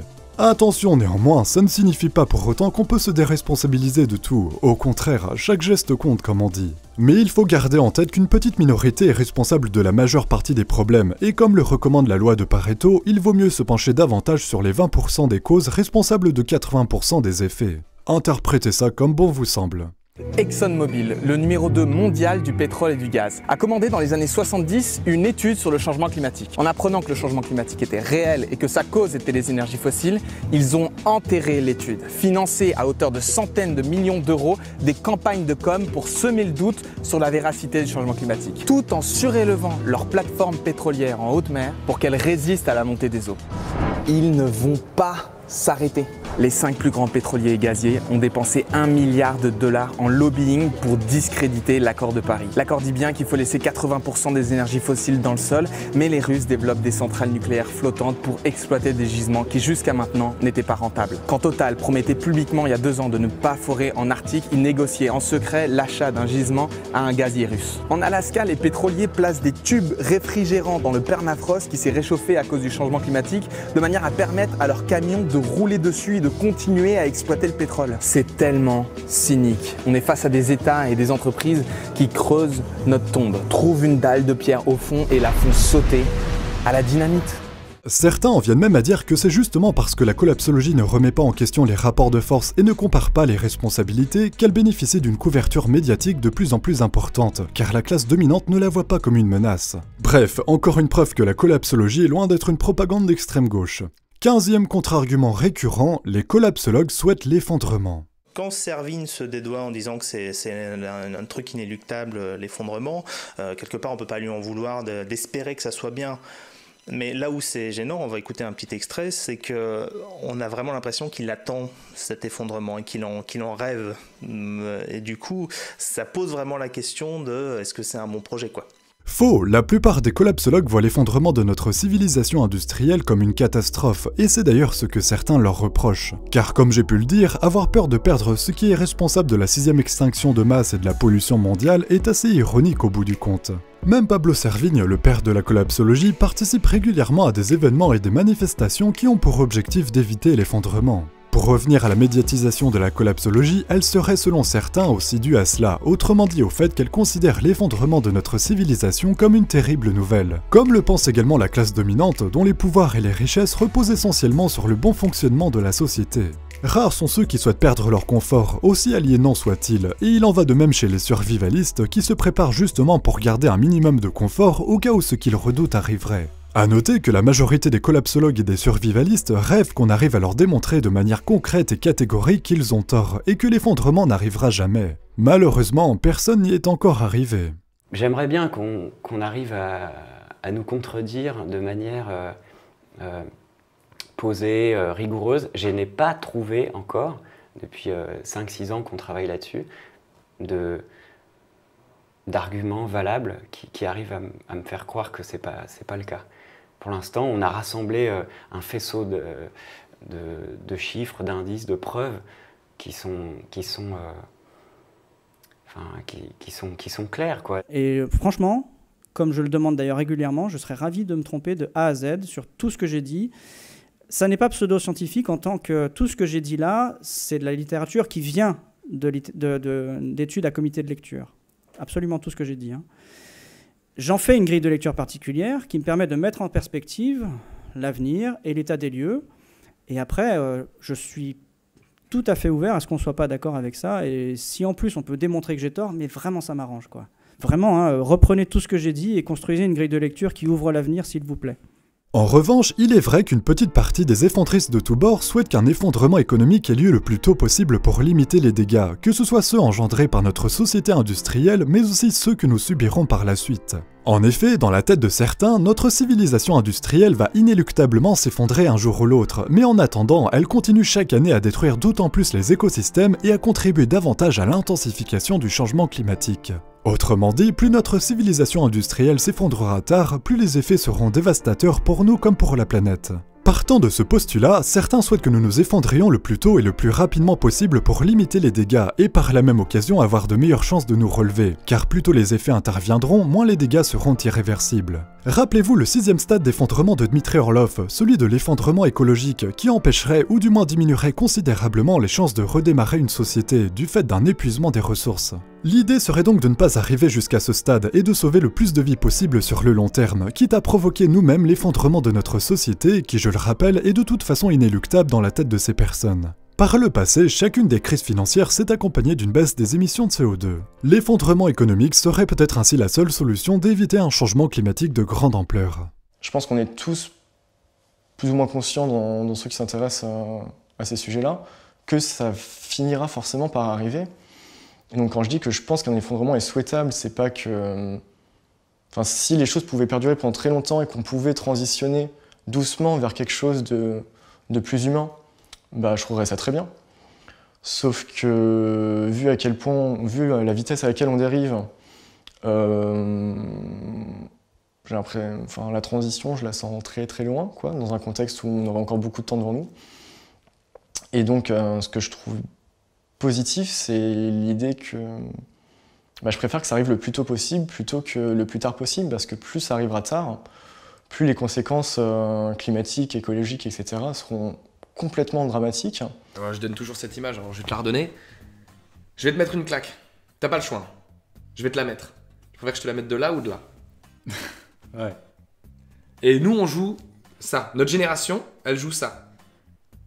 C'est ce qui est en train de se jouer. La claque, on va la prendre. Nous, de notre vivant, on va se la prendre. Est-ce qu'un effondrement économique ne pourrait pas éviter un effondrement écologique Est-ce qu'un effondrement économique pourrait permettre d'éviter un, effondrement écologique euh, Indéniablement oui, euh, puisque euh, notre économie est basée sur la croissance. La croissance est basée sur la production. La production est basée sur des ressources finies, comme chacun le sait. Et donc forcément, si l'économie s'écroule, euh, donc ça veut dire qu'on va galérer à produire autant, donc on va utiliser moins de ressources. Donc oui, ça éviterait un effondrement écologique, même si l'effondrement écologique a déjà lieu. Hein, je reviens à, cette perte de biodiversité, au changement climatique, euh, donc la montée des eaux, tout ça, enfin toutes ces, boucles de rétroaction en fait. Euh, donc en tout cas, ça, ça le limiterait. parce que aujourd'hui, ouais, on vit un effondrement, et le truc c'est que du moment qu'on garde notre modèle économique, eh ben, on, l'accélère cet effondrement. Donc, si notre modèle économique coule, euh, effectivement, ça ralentirait la, chute euh, écologique. Ok.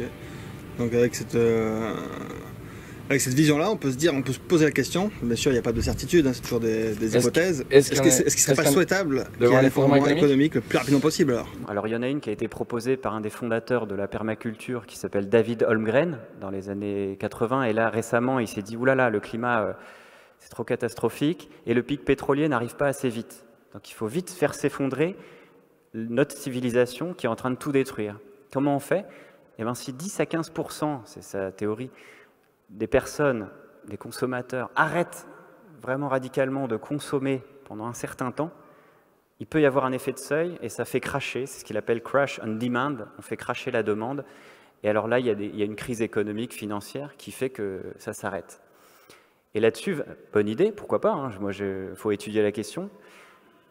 Et Vincent Verza, il dit, mais en fait, il y a une crise financière qui se prépare là depuis, bah, depuis qu'on a écrit le bouquin. Nous, on est là au taquet en train de voir tous les, indicateurs. Vraiment, la, finance est euh, en état fébrile. Les, experts parlent d'une prochaine crise qui sera majeure, beaucoup plus qu'il y a dix ans. OK, elle arrive. Eh ben, retroussons-nous les manches, on se prépare. Et cette brèche qui va arriver, où le monde, euh, bah, disons, le système qui détruit euh, beaucoup de choses sera à genoux, profitons de cette brèche pour continuer à l'enfoncer.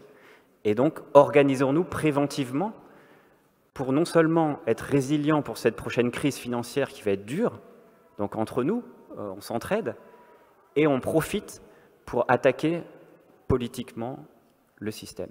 À savoir que d'autres souhaitent aussi l'effondrement de notre civilisation industrielle pour tout recommencer à zéro et repartir sur des bases saines. Car ils déplorent les inégalités, l'injustice et l'individualisme qui règnent actuellement et qui ne peuvent disparaître selon eux qu'en changeant le système dans sa totalité. À ça, je répondrais attention, nous ne sommes pas à l'abri de petits systèmes féodaux si notre société s'effondre réellement. Je ne suis pas sûr que ce soit plus enviable que notre situation actuelle. Rien ne dit qu'on ne se retrouvera pas avec des inégalités encore plus prononcées.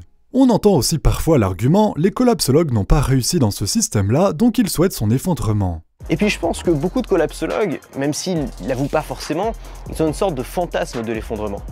Je pense, et c'est un sujet tabou, mais je pense que beaucoup de collapsologues euh, ne juste, n'aiment juste pas la société dans laquelle on vit. Ils n'ont pas réussi dans ce système-là. Et donc peut-être que bah, ce retour aux sources, à un mode de vie plus simple, à un mode de vie communautaire, à un mode de vie où on utilise davantage ses mains, c'est un truc qui les attire. C'est pas une fatalité qui va nous tomber dessus, c'est peut-être juste quelque chose dont ils ont envie. Et comme ils en ont envie, bah, ils l'espèrent. Et comme ils l'espèrent, bah, ils en parlent et ils le souhaitent. Je rappelle pourtant que la plupart des collapsologues sont ingénieurs ou doctorants, comme Pablo Servigne ou Yves Cochet, qui a d'ailleurs été ministre. Leurs livres font un carton, ils sont invités à énormément de conférences et sont de plus en plus médiatisés. Je ne pense pas que l'on puisse dire qu'ils n'ont pas réussi dans ce système, bien au contraire. Bref, dans tous les cas, la question reste entière. Faut-il faire preuve d'abnégation en souhaitant la fin d'un système qui nous apporte certes du confort, mais au prix de destruction massive des écosystèmes? En soi, il est normal, biologiquement et culturellement, qu'on se sente en priorité concerné par notre propre sort et celui de nos congénères, qu'on ne veuille pas perdre ce pourquoi on a durement travaillé. Sans parler que la vie de certains est entièrement dépendante du bon fonctionnement de notre société industrielle, comme toutes les personnes sous traitement dont la survie dépend de médicaments ou de visites régulières à l'hôpital. L'effondrement de notre civilisation industrielle signerait la fin de la médecine moderne et des médicaments, et donc la mort d'un bon nombre de personnes à court ou moyen terme. À cela, certains, comme Nicolas Cazot dans cette citation, répondent que ces problématiques personnelles sont moins importantes que la santé de la biosphère. Un avis qui ne manquera pas de faire grincer des dents certains, mais chacun a son point de vue sur la question. Reste que la situation est ironique, on souhaite garder notre confort et c'est cette décision qui risque de nous le faire perdre totalement. 16e contre-argument récurrent, les collapsologues ne proposent aucune solution. Je vais être très bref sur ce point-là car la question des solutions sera développée dans la prochaine vidéo qui leur sera entièrement dédiée. Je vais donc juste dire que tous les collapsologues proposent des solutions, mais vu que les leurs nécessitent souvent de diviser notre niveau de vie par 6, elles ne sont pas vues comme de véritables solutions par la majorité. On est tous d'accord pour dire que la pollution c'est dégueulasse. On est tous d'accord pour dire qu'une ville chinoise remplie de fumée où les gens sont obligés de porter des masques à gaz, c'est pas normal. On est tous d'accord pour trouver ça dégueulasse. Et donc, on est tous d'accord pour chercher des solutions sauf peut-être les collapsologues. Et c'est là que je pense que les collapsologues font une erreur. Si on veut se limiter au scénario de 2 degrés, il faut diviser notre niveau de vie par 6. Qui est chaud?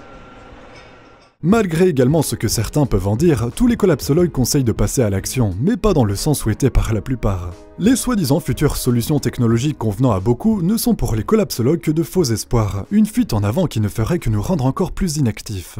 Il faut surtout pas penser comme un collapsologue si on a envie de nous sauver de ce monde qu'ils décrivent. Parce que si on a envie de nous en sauver, il va falloir se bouger, il va falloir passer à l'action, il va falloir faire des choses, et pour ça, on va avoir besoin d'une bonne dose d'optimisme. Souvent, euh, on m'a reproché d'être trop pessimiste. Je suis pas pessimiste, et je suis plutôt euh, voilà, euh, tourné vers l'action, malgré la lucidité. Et puis, on reproche d'être des oiseaux de mauvais augure, des prophètes de malheur, et euh, euh, les gens me disent euh, on a besoin d'espoir et d'optimisme.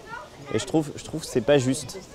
Je trouve qu'on n'a pas besoin d'espoir, mais on a besoin justement de courage. La peur appelle le courage. Il ne faut pas attendre l'espoir. Il faut passer à l'action. Et c'est ensemble, dans l'action, que viendra l'espoir. Et c'est vrai, c'est maintenant qu'il faut agir. Pas pour éviter le mur, mais pour éviter le pire. La technologie ne nous sauvera pas. La technologie, c'est une fuite en avant pour pas se remettre en question. À chaque fois qu'on crée une machine qui consomme moins d'énergie, en réalité, on permet à plus de gens d'avoir accès à cette technologie et donc on consomme plus d'énergie. J'ai pas d'illusion. Je suis euh, euh, ce que j'appellerais un pessimiste actif. C'est-à-dire, je suis très pessimiste, mais actif. Et puis, euh, j'aime beaucoup une phrase de Gramsci que je cite toujours, qui est extraordinaire. Gramsci disait il faut avoir le, le pessimisme de l'intelligence et l'optimisme de la volonté. Bref, on parlera de tout ça de manière bien plus développée dans la prochaine vidéo, dans laquelle on décortiquera les solutions qu'on entend le plus souvent dans les débats sur l'effondrement. Dans le même registre, 17ème contre-argument récurrent, le côté fataliste de la collapsologie empêche l'initiative. D'après certaines personnes, le fait que quelques collapsologues parlent de l'inévitabilité d'un effondrement certain provoquerait une certaine apathie dans leur public, qui serait paralysé tel des lapins face à la lumière des phares d'une voiture. Face à l'idée d'un effondrement qui arriverait quoi qu'on fasse, beaucoup seraient enclins à rendre les armes, à accepter leur sort, puisque de toute façon, à quoi bon? Les fameux aquabonistes décrits par Pablo Servigne dont on reparlera plus en détail dans la quatrième partie de cette série de vidéos. Pour citer Jérémy Cravate, donner l'impression aux personnes qu'elles n'ont aucune prise sur la situation présente et à venir, c'est alimenter le sentiment d'impuissance, la croyance que nous sommes face à une impasse plutôt que face à une multitude de chemins. Bref, la collapsologie serait d'une certaine manière contre-productive. Certains collapsologues affirmeraient même que la décroissance, vue pourtant comme la dernière des solutions par beaucoup car trop exigeante, ne serait même plus envisageable, et qu'il ne nous reste comme issue que la construction de petites communautés résilientes pour mieux encaisser ce choc soi-disant certain. Pourtant, pour traîner depuis bien longtemps dans ce milieu, j'ai plutôt l'impression que les discours des collapsologues mobilisent plus qu'autre chose. Je peux vous assurer qu'un bon nombre de ceux participant aux marches pour le climat connaissent et croient en la théorie de l'effondrement telle qu'elle est présentée par les collapsologues. Beaucoup de personnes sensibilisées à la collapsologie se forment au jardinage, créent des fermes autonomes, mettent en place des communautés résilientes, sensibilisent leur entourage, manifestent dans la rue, se lancent dans la politique, changent de métier ou redirigent leurs études vers des métiers davantage tournés vers l'écologie, etc. Bref, ce ne sont pas les actions qui manquent.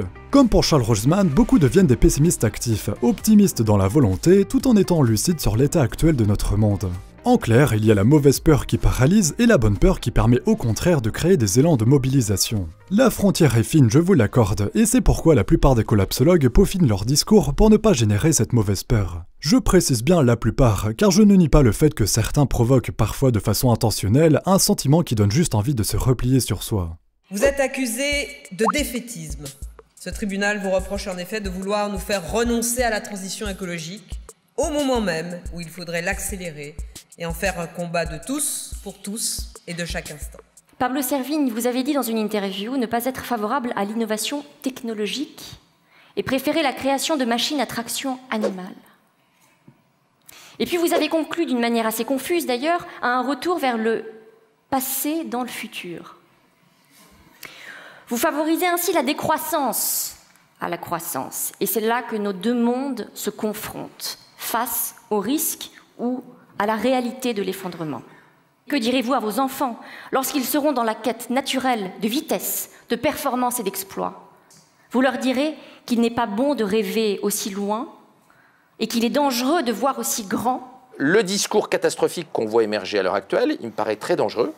D'abord parce que quand Aurélien Barraud, quand Aurélien propose d'interdire la 5G, ça veut dire qu'on va devenir un pays sous-développé et qu'on va être vassalisé par la Chine et par euh, les puissances industrielles qui, elles, ne sont pas On est déjà vassalisé par les États-Unis quand même. Certes, mais euh, c'est pas la peine de l'être encore plus sur le plan technologique.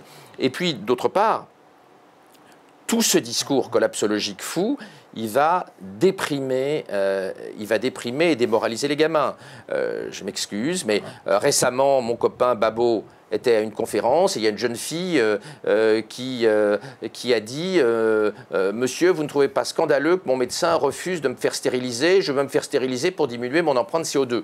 Le discours fou, le discours fou qui n'est pas le tien. Le discours apocalyptique fou rend les gamins malades. Quand Vargas, la militante, euh, la militante politique, fait un bouquin qui est l'un des cinq bouquins les plus vendus en France en ce moment sur la catastrophe, et qu'elle explique à la radio récemment, je cite, à 1,5 degré, il y aura de façon certaine 4 milliards de morts sur Terre à cause du réchauffement climatique, et si on monte à 2 degrés, 6 milliards de morts, c'est délirant, c'est dégoûtant, ça démoralise les gamins, et c'est totalement faux, de prendre la question écologique et d'en faire une question religieuse et de démoraliser la population entière, c'est très mal, notamment pour les gamins. On embrigade les gamins en les, en les paniquant. Il y a de plus en plus de témoignages. Le rédacteur en chef d'un grand journal français me disait, ma gamine a été traumatisée à l'école, et on lui a expliqué, euh, sa gamine est en, primaire, on, on, lui a expliqué que la fin du monde était proche. Et la gamine est rentrée, est rentrée et rentrer en pleurant à la maison. Il faut arrêter de paniquer les gamins. La question écologique est sérieuse. Moi, je ne suis pas un climato-sceptique. Je prends très au sérieux la question du CO2, des particules fines qui sont très mauvaises pour la santé. Mais tout ce discours de folie qui fait croire que la fin du monde et, la mort est à quelques années n'est pas raisonnable. Quand Cochet dit il y a plus de 50% de chances que toute l'humanité meure à brève échéance, ce n'est pas raisonnable. Ce discours apocalyptique, il est dangereux, il est démoralisant. Puis en plus, si la Terre doit disparaître dans quelques années, c'est pas la peine de se casser le cul pour essayer d'améliorer le monde qui vient. Euh, il n'est pas bien de, conduire les gamins à tous être sous Prozac dans 5 ans. Il faut un discours écologiste raisonnable.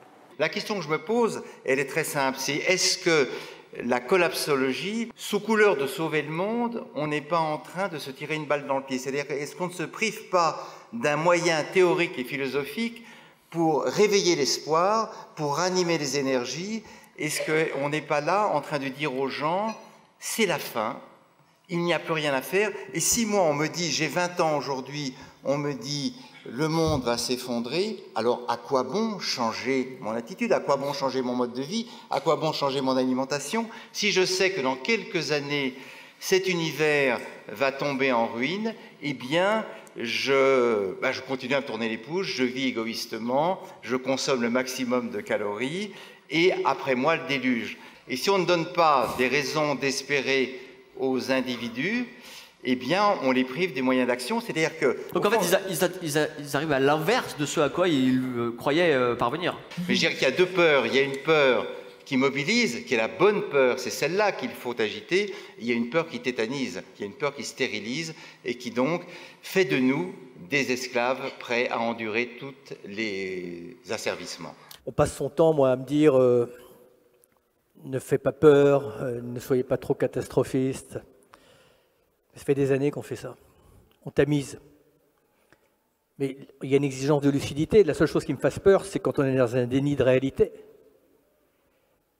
Si, euh, pour revenir à l'exemple du Toubib, vous dit que vous avez une petite bronchite, ou si vous dit que vous avez une pathologie plus grave, vous n'allez pas vous mettre dans le même euh, état d'esprit de, mobilisation. Moi, d'abord, la peur n'est pas forcément castratrice aller faire pipi dehors et tomber sur un ours, vous verrez si ça vous empêche de courir.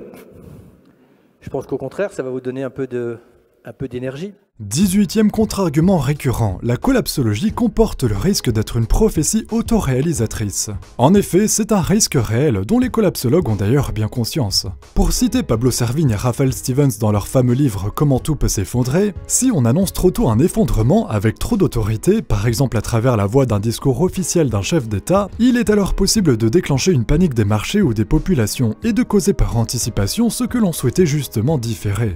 Rappelons également que le mouvement effondriste comporte en son sein des personnes qui souhaitent qu'un effondrement ait lieu le plus tôt possible, et qui militent dans ce sens à travers leurs discours et leurs actions. C'est donc loin d'être un risque à exclure, d'autant que certaines personnes ne voient pas ça comme un risque mais comme un objectif. 19e contre-argument récurrent, l'humanité ne s'est jamais mieux portée qu'aujourd'hui. En effet, comme le dit Cyril Dion dans son livre Petit manuel de résistance contemporaine, nous avons aujourd'hui accès à un confort absolument inégalé depuis que l'être humain s'est dressé sur ses deux pieds. Comme j'ai pu le dire dans la première partie, on ne s'en rend pas bien compte, mais notre niveau de vie est actuellement bien supérieur à celui de César ou de Louis XIV. D'autres auteurs, comme l'anthropologue Steven Pinker, ont démontré, chiffre à l'appui, que le nombre de morts violentes par guerre ou assassinat a considérablement diminué depuis l'Antiquité, où le risque de mourir de la sorte était 50 fois plus élevé qu'aujourd'hui. Yuval Noah Harari rajoute même que la violence humaine n'est responsable que de 1% des décès dans le monde et qu'on a aujourd'hui bien plus de chances de mourir de l'obésité. Comme il le dit, le sucre est devenu plus dangereux que la poudre à canon. On peut également constater que le nombre de personnes analphabètes diminue chaque année dans le monde, que la peine de mort a été abolie dans de nombreux pays, que le statut des femmes s'est amélioré, que l'espérance de vie a augmenté, que notre hygiène n'a plus rien à voir avec celle des siècles précédents, etc. Mais certaines personnes, comme Nicolas Cazot, font remarquer que nos ancêtres n'étaient pas la caricature que beaucoup s'imaginent, luttant pour leur survie au jour le jour, stressés par les dangers qui les guettaient à chaque instant, assénés par un travail pénible et interminable. Non, selon lui, il semblerait que la plupart vivaient plutôt en bonne santé, mangeaient à leur faim et travaillaient peu, voire pas du tout. Ce dernier fait également remarquer que d'autres formes de violence ont fait leur apparition, qui selon lui sont les méthodes d'accouchement modernes, les méthodes d'éducation modernes, le traitement des personnes âgées, la pauvreté, les inégalités sociales, les chaussures, l'alimentation industrielle, les violences sexuelles, le racisme, l'élevage industriel, la déforestation, la destruction massive d'habitats, les pollutions en tout genre, l'exploitation salariale, l'augmentation de consommation de psychotropes, les épidémies de burn-out, de stress, de mal-être, de troubles psychiques en tout genre, etc. L'historien des idées François Cusset est également de cet avis. En guise de nouvelles formes de violence, il cite également l'influence des grandes instances sur nos vies, la violence psychique, la pensée unique, les haines ordinaires, les oppressions de genre, etc. Cette violence-là, souligne QC, n'apparaît dans aucune statistique, aucun bilan morbide, mais elle émane les jours et les nuits de nos vies contemporaines. Le stress en particulier, affirme-t-il, est désormais la violence la plus répandue, la plus constante, la moins visible et à ce titre la plus dévastatrice. Bref, chacun aura son avis sur la question, mais pour revenir au contre-argument en lui-même, ce dernier est un peu hors sujet. Le fait qu'il y ait moins de guerres, moins d'analphabètes et plus de confort n'a quasiment aucune répercussion positive sur la sixième extinction de masse, le problème des énergies fossiles, la destruction des écosystèmes et la pollution, autrement dit sur les potentielles futures causes de notre effondrement. C'est même parfois tout le contraire lorsqu'on constate ce qu'il se cache derrière l'amélioration de notre confort. Vingtième contre-argument récurrent, nous ne sommes plus dépendants de la biodiversité. En effet, pour certains, l'humanité serait arrivée à un stade de quasi-indépendance vis-à-vis de la biodiversité et de son environnement, qu'elle pourrait à présent manipuler à sa guise, comme la maîtrise de la météo, bien qu'elle en soit encore à ses balbutiements. Nous serions aujourd'hui capables de cultiver dans des serres à l'abri des aléas climatiques, de modifier nos plantations pour les rendre plus résistantes, et grâce à nos élevages intensifs, la sixième extinction de masse, autrement dit l'extinction des espèces sauvages, ne nous affecterait pas outre mesure. Les personnes soutenant cette idée expliquent par exemple que nous pouvons artificiellement polliniser les plantes grâce à des nanorobots et de ce fait ne plus avoir à s'inquiéter de la disparition des abeilles. D'après eux, ce nouveau genre de pollinisation augmenterait même les rendements. Outre la question éthique de ne voir la biodiversité que sous le prisme de son utilité pour l'humanité, qui ne manquera pas de faire grincer des dents bon nombre, ce contre-argument est en partie faux pour plusieurs raisons. Je rappelle par exemple que le phytoplancton, qui produit la moitié de l'oxygène sur Terre, fait partie de la biodiversité. Je ne suis pas sûr qu'on soit devenu indépendant de l'oxygène, ou alors j'ai raté un épisode. Je ne suis pas sûr non plus qu'on soit indépendant des rats qui consomment chaque année 292 000 tonnes de déchets rien qu'à Paris selon le Fonds mondial pour la nature, sans qui nos égouts deviendraient rapidement bouchés. Et puis pour revenir aux abeilles, c'est quand même assez fou de se dire qu'on va investir du temps, de l'argent et des matières premières dans la création de robots pour faire ce que certains insectes font déjà gratuitement de façon naturelle. Enfin bon, c'est peut-être moi qui ne suis plus dans l'air du temps. 21e contre-argument récurrent, on s'est déjà relevé de crise majeure. En effet, l'histoire nous montre que de nombreux États et leurs populations n'ont jamais failli malgré les grands bouleversements qu'ils ont pu connaître. L'Europe a vu de nombreux empires s'effondrer au cours de son histoire, sans que cela change drastiquement le mode de vie de ses habitants. La peste noire, qui a quand même tué en 1347 30 à 50% des Européens en 5 ans, n'a pourtant pas eu de répercussions majeures sur les sociétés et les organisations existantes. Nous nous sommes remis des deux guerres mondiales et des années d'occupation. Les Japonais ont su se relever après les deux bombes atomiques. L'Union soviétique a tenu pendant l'accident de Tchernobyl. Cuba a survécu à son embargo. Sans parler de toutes les crises financières qui ont certes impacté certains aspects de l'économie, mais jamais jusqu'à nous obliger à changer drastiquement notre manière de vivre. Rajoutons à cela que rares sont les événements de ce type qui ont conduit à des guerres civiles, l'une des pires craintes des collapsologues et des survivalistes. De plus, beaucoup rétorquent à ceux qui s'appuient sur les effondrements des civilisations précédentes pour démontrer ce qui nous attend, que notre système capitaliste n'a rien à voir avec ceux des précédentes civilisations, et que la comparaison n'a donc aucun sens. Il est là le génie humain, dans son ingéniosité, dans son inépuisable capacité à inventer et à se réinventer. Et cette seule certitude tirée de l'histoire et confortée par notre patrimoine culturel devrait suffire à redonner foi en l'homme et à nous assurer que quoi qu'il arrive, et en dépit des annonces macabres d'effondrement, il se tiendra debout et bien vivant pour s'adapter et réinventer son avenir. Bref, l'humanité, les États, les sociétés et les populations se sont déjà relevés de nombreuses crises majeures au cours de l'histoire, et notre civilisation saura de la même manière faire face aux nouvelles crises qui s'annoncent. Beau discours. Sauf que selon les collapsologues, l'effondrement n'est pas une crise passagère, c'est la fin d'un monde à tout jamais, celui des énergies fossiles et de la croissance, et le début d'un nouveau, auquel espérons nous appartiendrons. L'effondrement est d'autant moins une crise si on considère qu'il a déjà commencé depuis plus de 40 ans avec la biodiversité, et qu'il n'est pas prêt de s'arrêter. Les États, et par extension le maintien de l'ordre et des services publics, ont certes réussi à tenir face à de nombreuses crises financières, sociales et politiques. Mais réussiront-ils à tenir en cas d'arrêt d'extraction des énergies fossiles, en cas de désertification massive des sols, en cas de pénurie d'eau à l'échelle nationale? Permettez aux collapsologues d'en douter. Les interactions des sociétés complexes décrites également dans la collapsologie pouvant amener à des changements de régime par des bouleversements écologiques sont également loin d'être fictifs. Certains géopoliticiens analysent par exemple les printemps arabes comme la conséquence des mauvaises récoltes qu'il y a eu en Russie, qui les a contraints à diminuer leurs exportations aux pays du Maghreb, dont le pain représente une part importante de l'alimentation. ça a été un facteur de trouble social. Si ce facteur n'explique pas tout, cet événement nous montre que l'interaction et les conséquences d'événements écologiques violents et les répercussions qu'ils peuvent avoir sur notre système politique ne sont pas fictifs. Et on arrive au 22e et dernier contre-argument récurrent, le génie humain et les progrès techniques nous sauveront. Ceci m'amène à vous annoncer la prochaine vidéo qui fera office de deuxième partie de cette antithèse et qui traitera des 23 solutions envisagées qu'on entend le plus souvent lorsqu'on évoque les risques d'effondrement. Suite aux plaintes de la longueur de ma première partie, j'ai scindé en deux ce qui devait être à la base la deuxième partie, donc l'antithèse, et je pense également faire de même pour ce que j'avais prévu de traiter en troisième partie. Ce qui fait que cette série sur l'effondrement risque au final de faire 5 épisodes et non plus 3. Bref, pour conclure sur cette première partie d'antithèse, peu de contre-arguments sont finalement recevables dans ceux qu'on entend le plus souvent. Pour tout vous dire, j'ai passé ces trois derniers mois à lire et écouter des centaines d'articles et de vidéos qui disaient de manière confiante détruire la collapsologie avec leurs contre-arguments. Mais rien de ce que j'ai lu ou écouté n'a réussi à démontrer avec des arguments solides en quoi la perspective de l'effondrement était une erreur. Soit les contradicteurs ne connaissent rien au sujet et basent leurs arguments sur des idées reçues, soit ils chipotent sur 2-3 aspects qui au final ne discrédite en rien le cœur même du propos de la collapsologie. On a ainsi le droit à des débats de 3 heures sur les soi-disant soucis de la collapsologie dans lesquels le moindre petit défaut est analysé pour meubler un argumentaire au final assez vide, le tout saupoudré de procès d'intention. Beaucoup de semeurs de polémiques qui aiment s'écouter parler, cherchant la moindre petite bête à se mettre sous la dent et essayant maladroitement de déconstruire le sujet sans rien apporter de constructif en retour. En parlant de ça, j'ai été attristé de voir que certains effondristes, écologistes, collapsologues, survivalistes décroissants se tiraient dans les pattes entre eux alors qu'ils plus ou moins tous pour la même cause.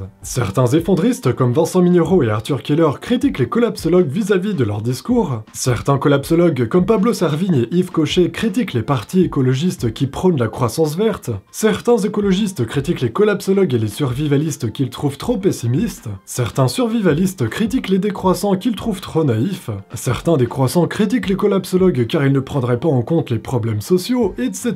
etc. Ça me rappelle tellement certains véganes qui sont encore plus autoritaires entre eux et vis-à-vis des végétariens. Je pense que ces chamailleries sont contre-productives et desservent plus le mouvement qu'autre chose. Comment voulez-vous rassembler toute une population et même tous les pays du monde vers une cause commune si vous n'arrivez déjà pas à vous mettre d'accord entre vous? Quand je vois certains collapsologues, effondristes, écologistes, décroissants et survivalistes se qualifier les uns les autres d'adversaires idéologiques, je me dis qu'on est mal barré. Pendant que tout l'immeuble brûle, chaque habitant reste à sa fenêtre à critiquer la couleur du camion des pompiers alors que ces derniers leur disent de les rejoindre en vitesse. Je pense que ceux qui luttent pour la planète ont déjà assez à faire avec les climato-sceptiques et les cornucopiens. Et puis j'aimerais rappeler que le survivalisme est à la base une réponse préventive à un constat, et ce constat peut très bien provenir de la collapsologie. Vous pouvez donc très bien adhérer aux propos de la collapsologie et être survivaliste dans le même temps. Mais bon, il ne faudrait surtout pas mélanger les deux car être survivaliste c'est être d'extrême droite pour beaucoup. À croire que vous n'avez pas le droit de vous préparer de la sorte si vous êtes de gauche. De toute façon, on reparlera du survivalisme dans la quatrième partie. Bref, vous l'aurez peut-être constaté, la plupart des contre-arguments sont fixés sur la collapsologie et les collapsologues, mais quasiment jamais sur les problèmes qu'ils décrivent. On se focalise sur la forme pour ne pas avoir à traiter un fond malheureusement assez solide. Il en va de même pour tous ces vieux hommes cyniques qui critiquent Greta Thunberg, mais jamais le fond de son discours. Comme dirait Nicolas Hulot, eh bien, ça me fait penser à ce proverbe chinois qui dit que quand le sage monte la lune, l'imbécile regarde le doigt. Si vous avez aimé cette vidéo, n'hésitez pas à la liker et la partager, d'autant que cette vidéo n'est pas monétisée et sera donc beaucoup moins référencée par YouTube qui n'a aucun intérêt à donner de la visibilité à une vidéo qui ne lui rapporte rien. Si certaines pubs s'affichent néanmoins, elles ne sont pas de mon fait et je n'en tire aucun revenu. Donc si vous souhaitez me soutenir financièrement, vous pouvez me faire un don sur ma page Tipeee ou visionner des pubs sur ma page Utip, les liens sont dans la description. Je profite également de cette vidéo pour vous rappeler que mes deux BD transposant l'univers de YouTube dans un monde médiéval fantastique sont actuellement en prévente sur cette page Ulule, et au moins je ne joue pas sur la peur pour vous les vendre. Vous avez jusqu'au 7 décembre pour acheter le tome 1 et précommander le tome 2, après quoi il ne vous sera plus possible de les avoir étant donné qu'ils ne seront pas disponibles dans les FNAC et autres librairies. Plus de 2700 personnes ont déjà commandé leur BD, ce qui a permis de débloquer plusieurs cartes collector que vous recevrez gratuitement en plus du tome 2. On espère atteindre les paliers suivants qui nous permettront de lancer la production de spin-off, de figurines et le fameux combat de catch entre youtubeurs qu'on vous a promis.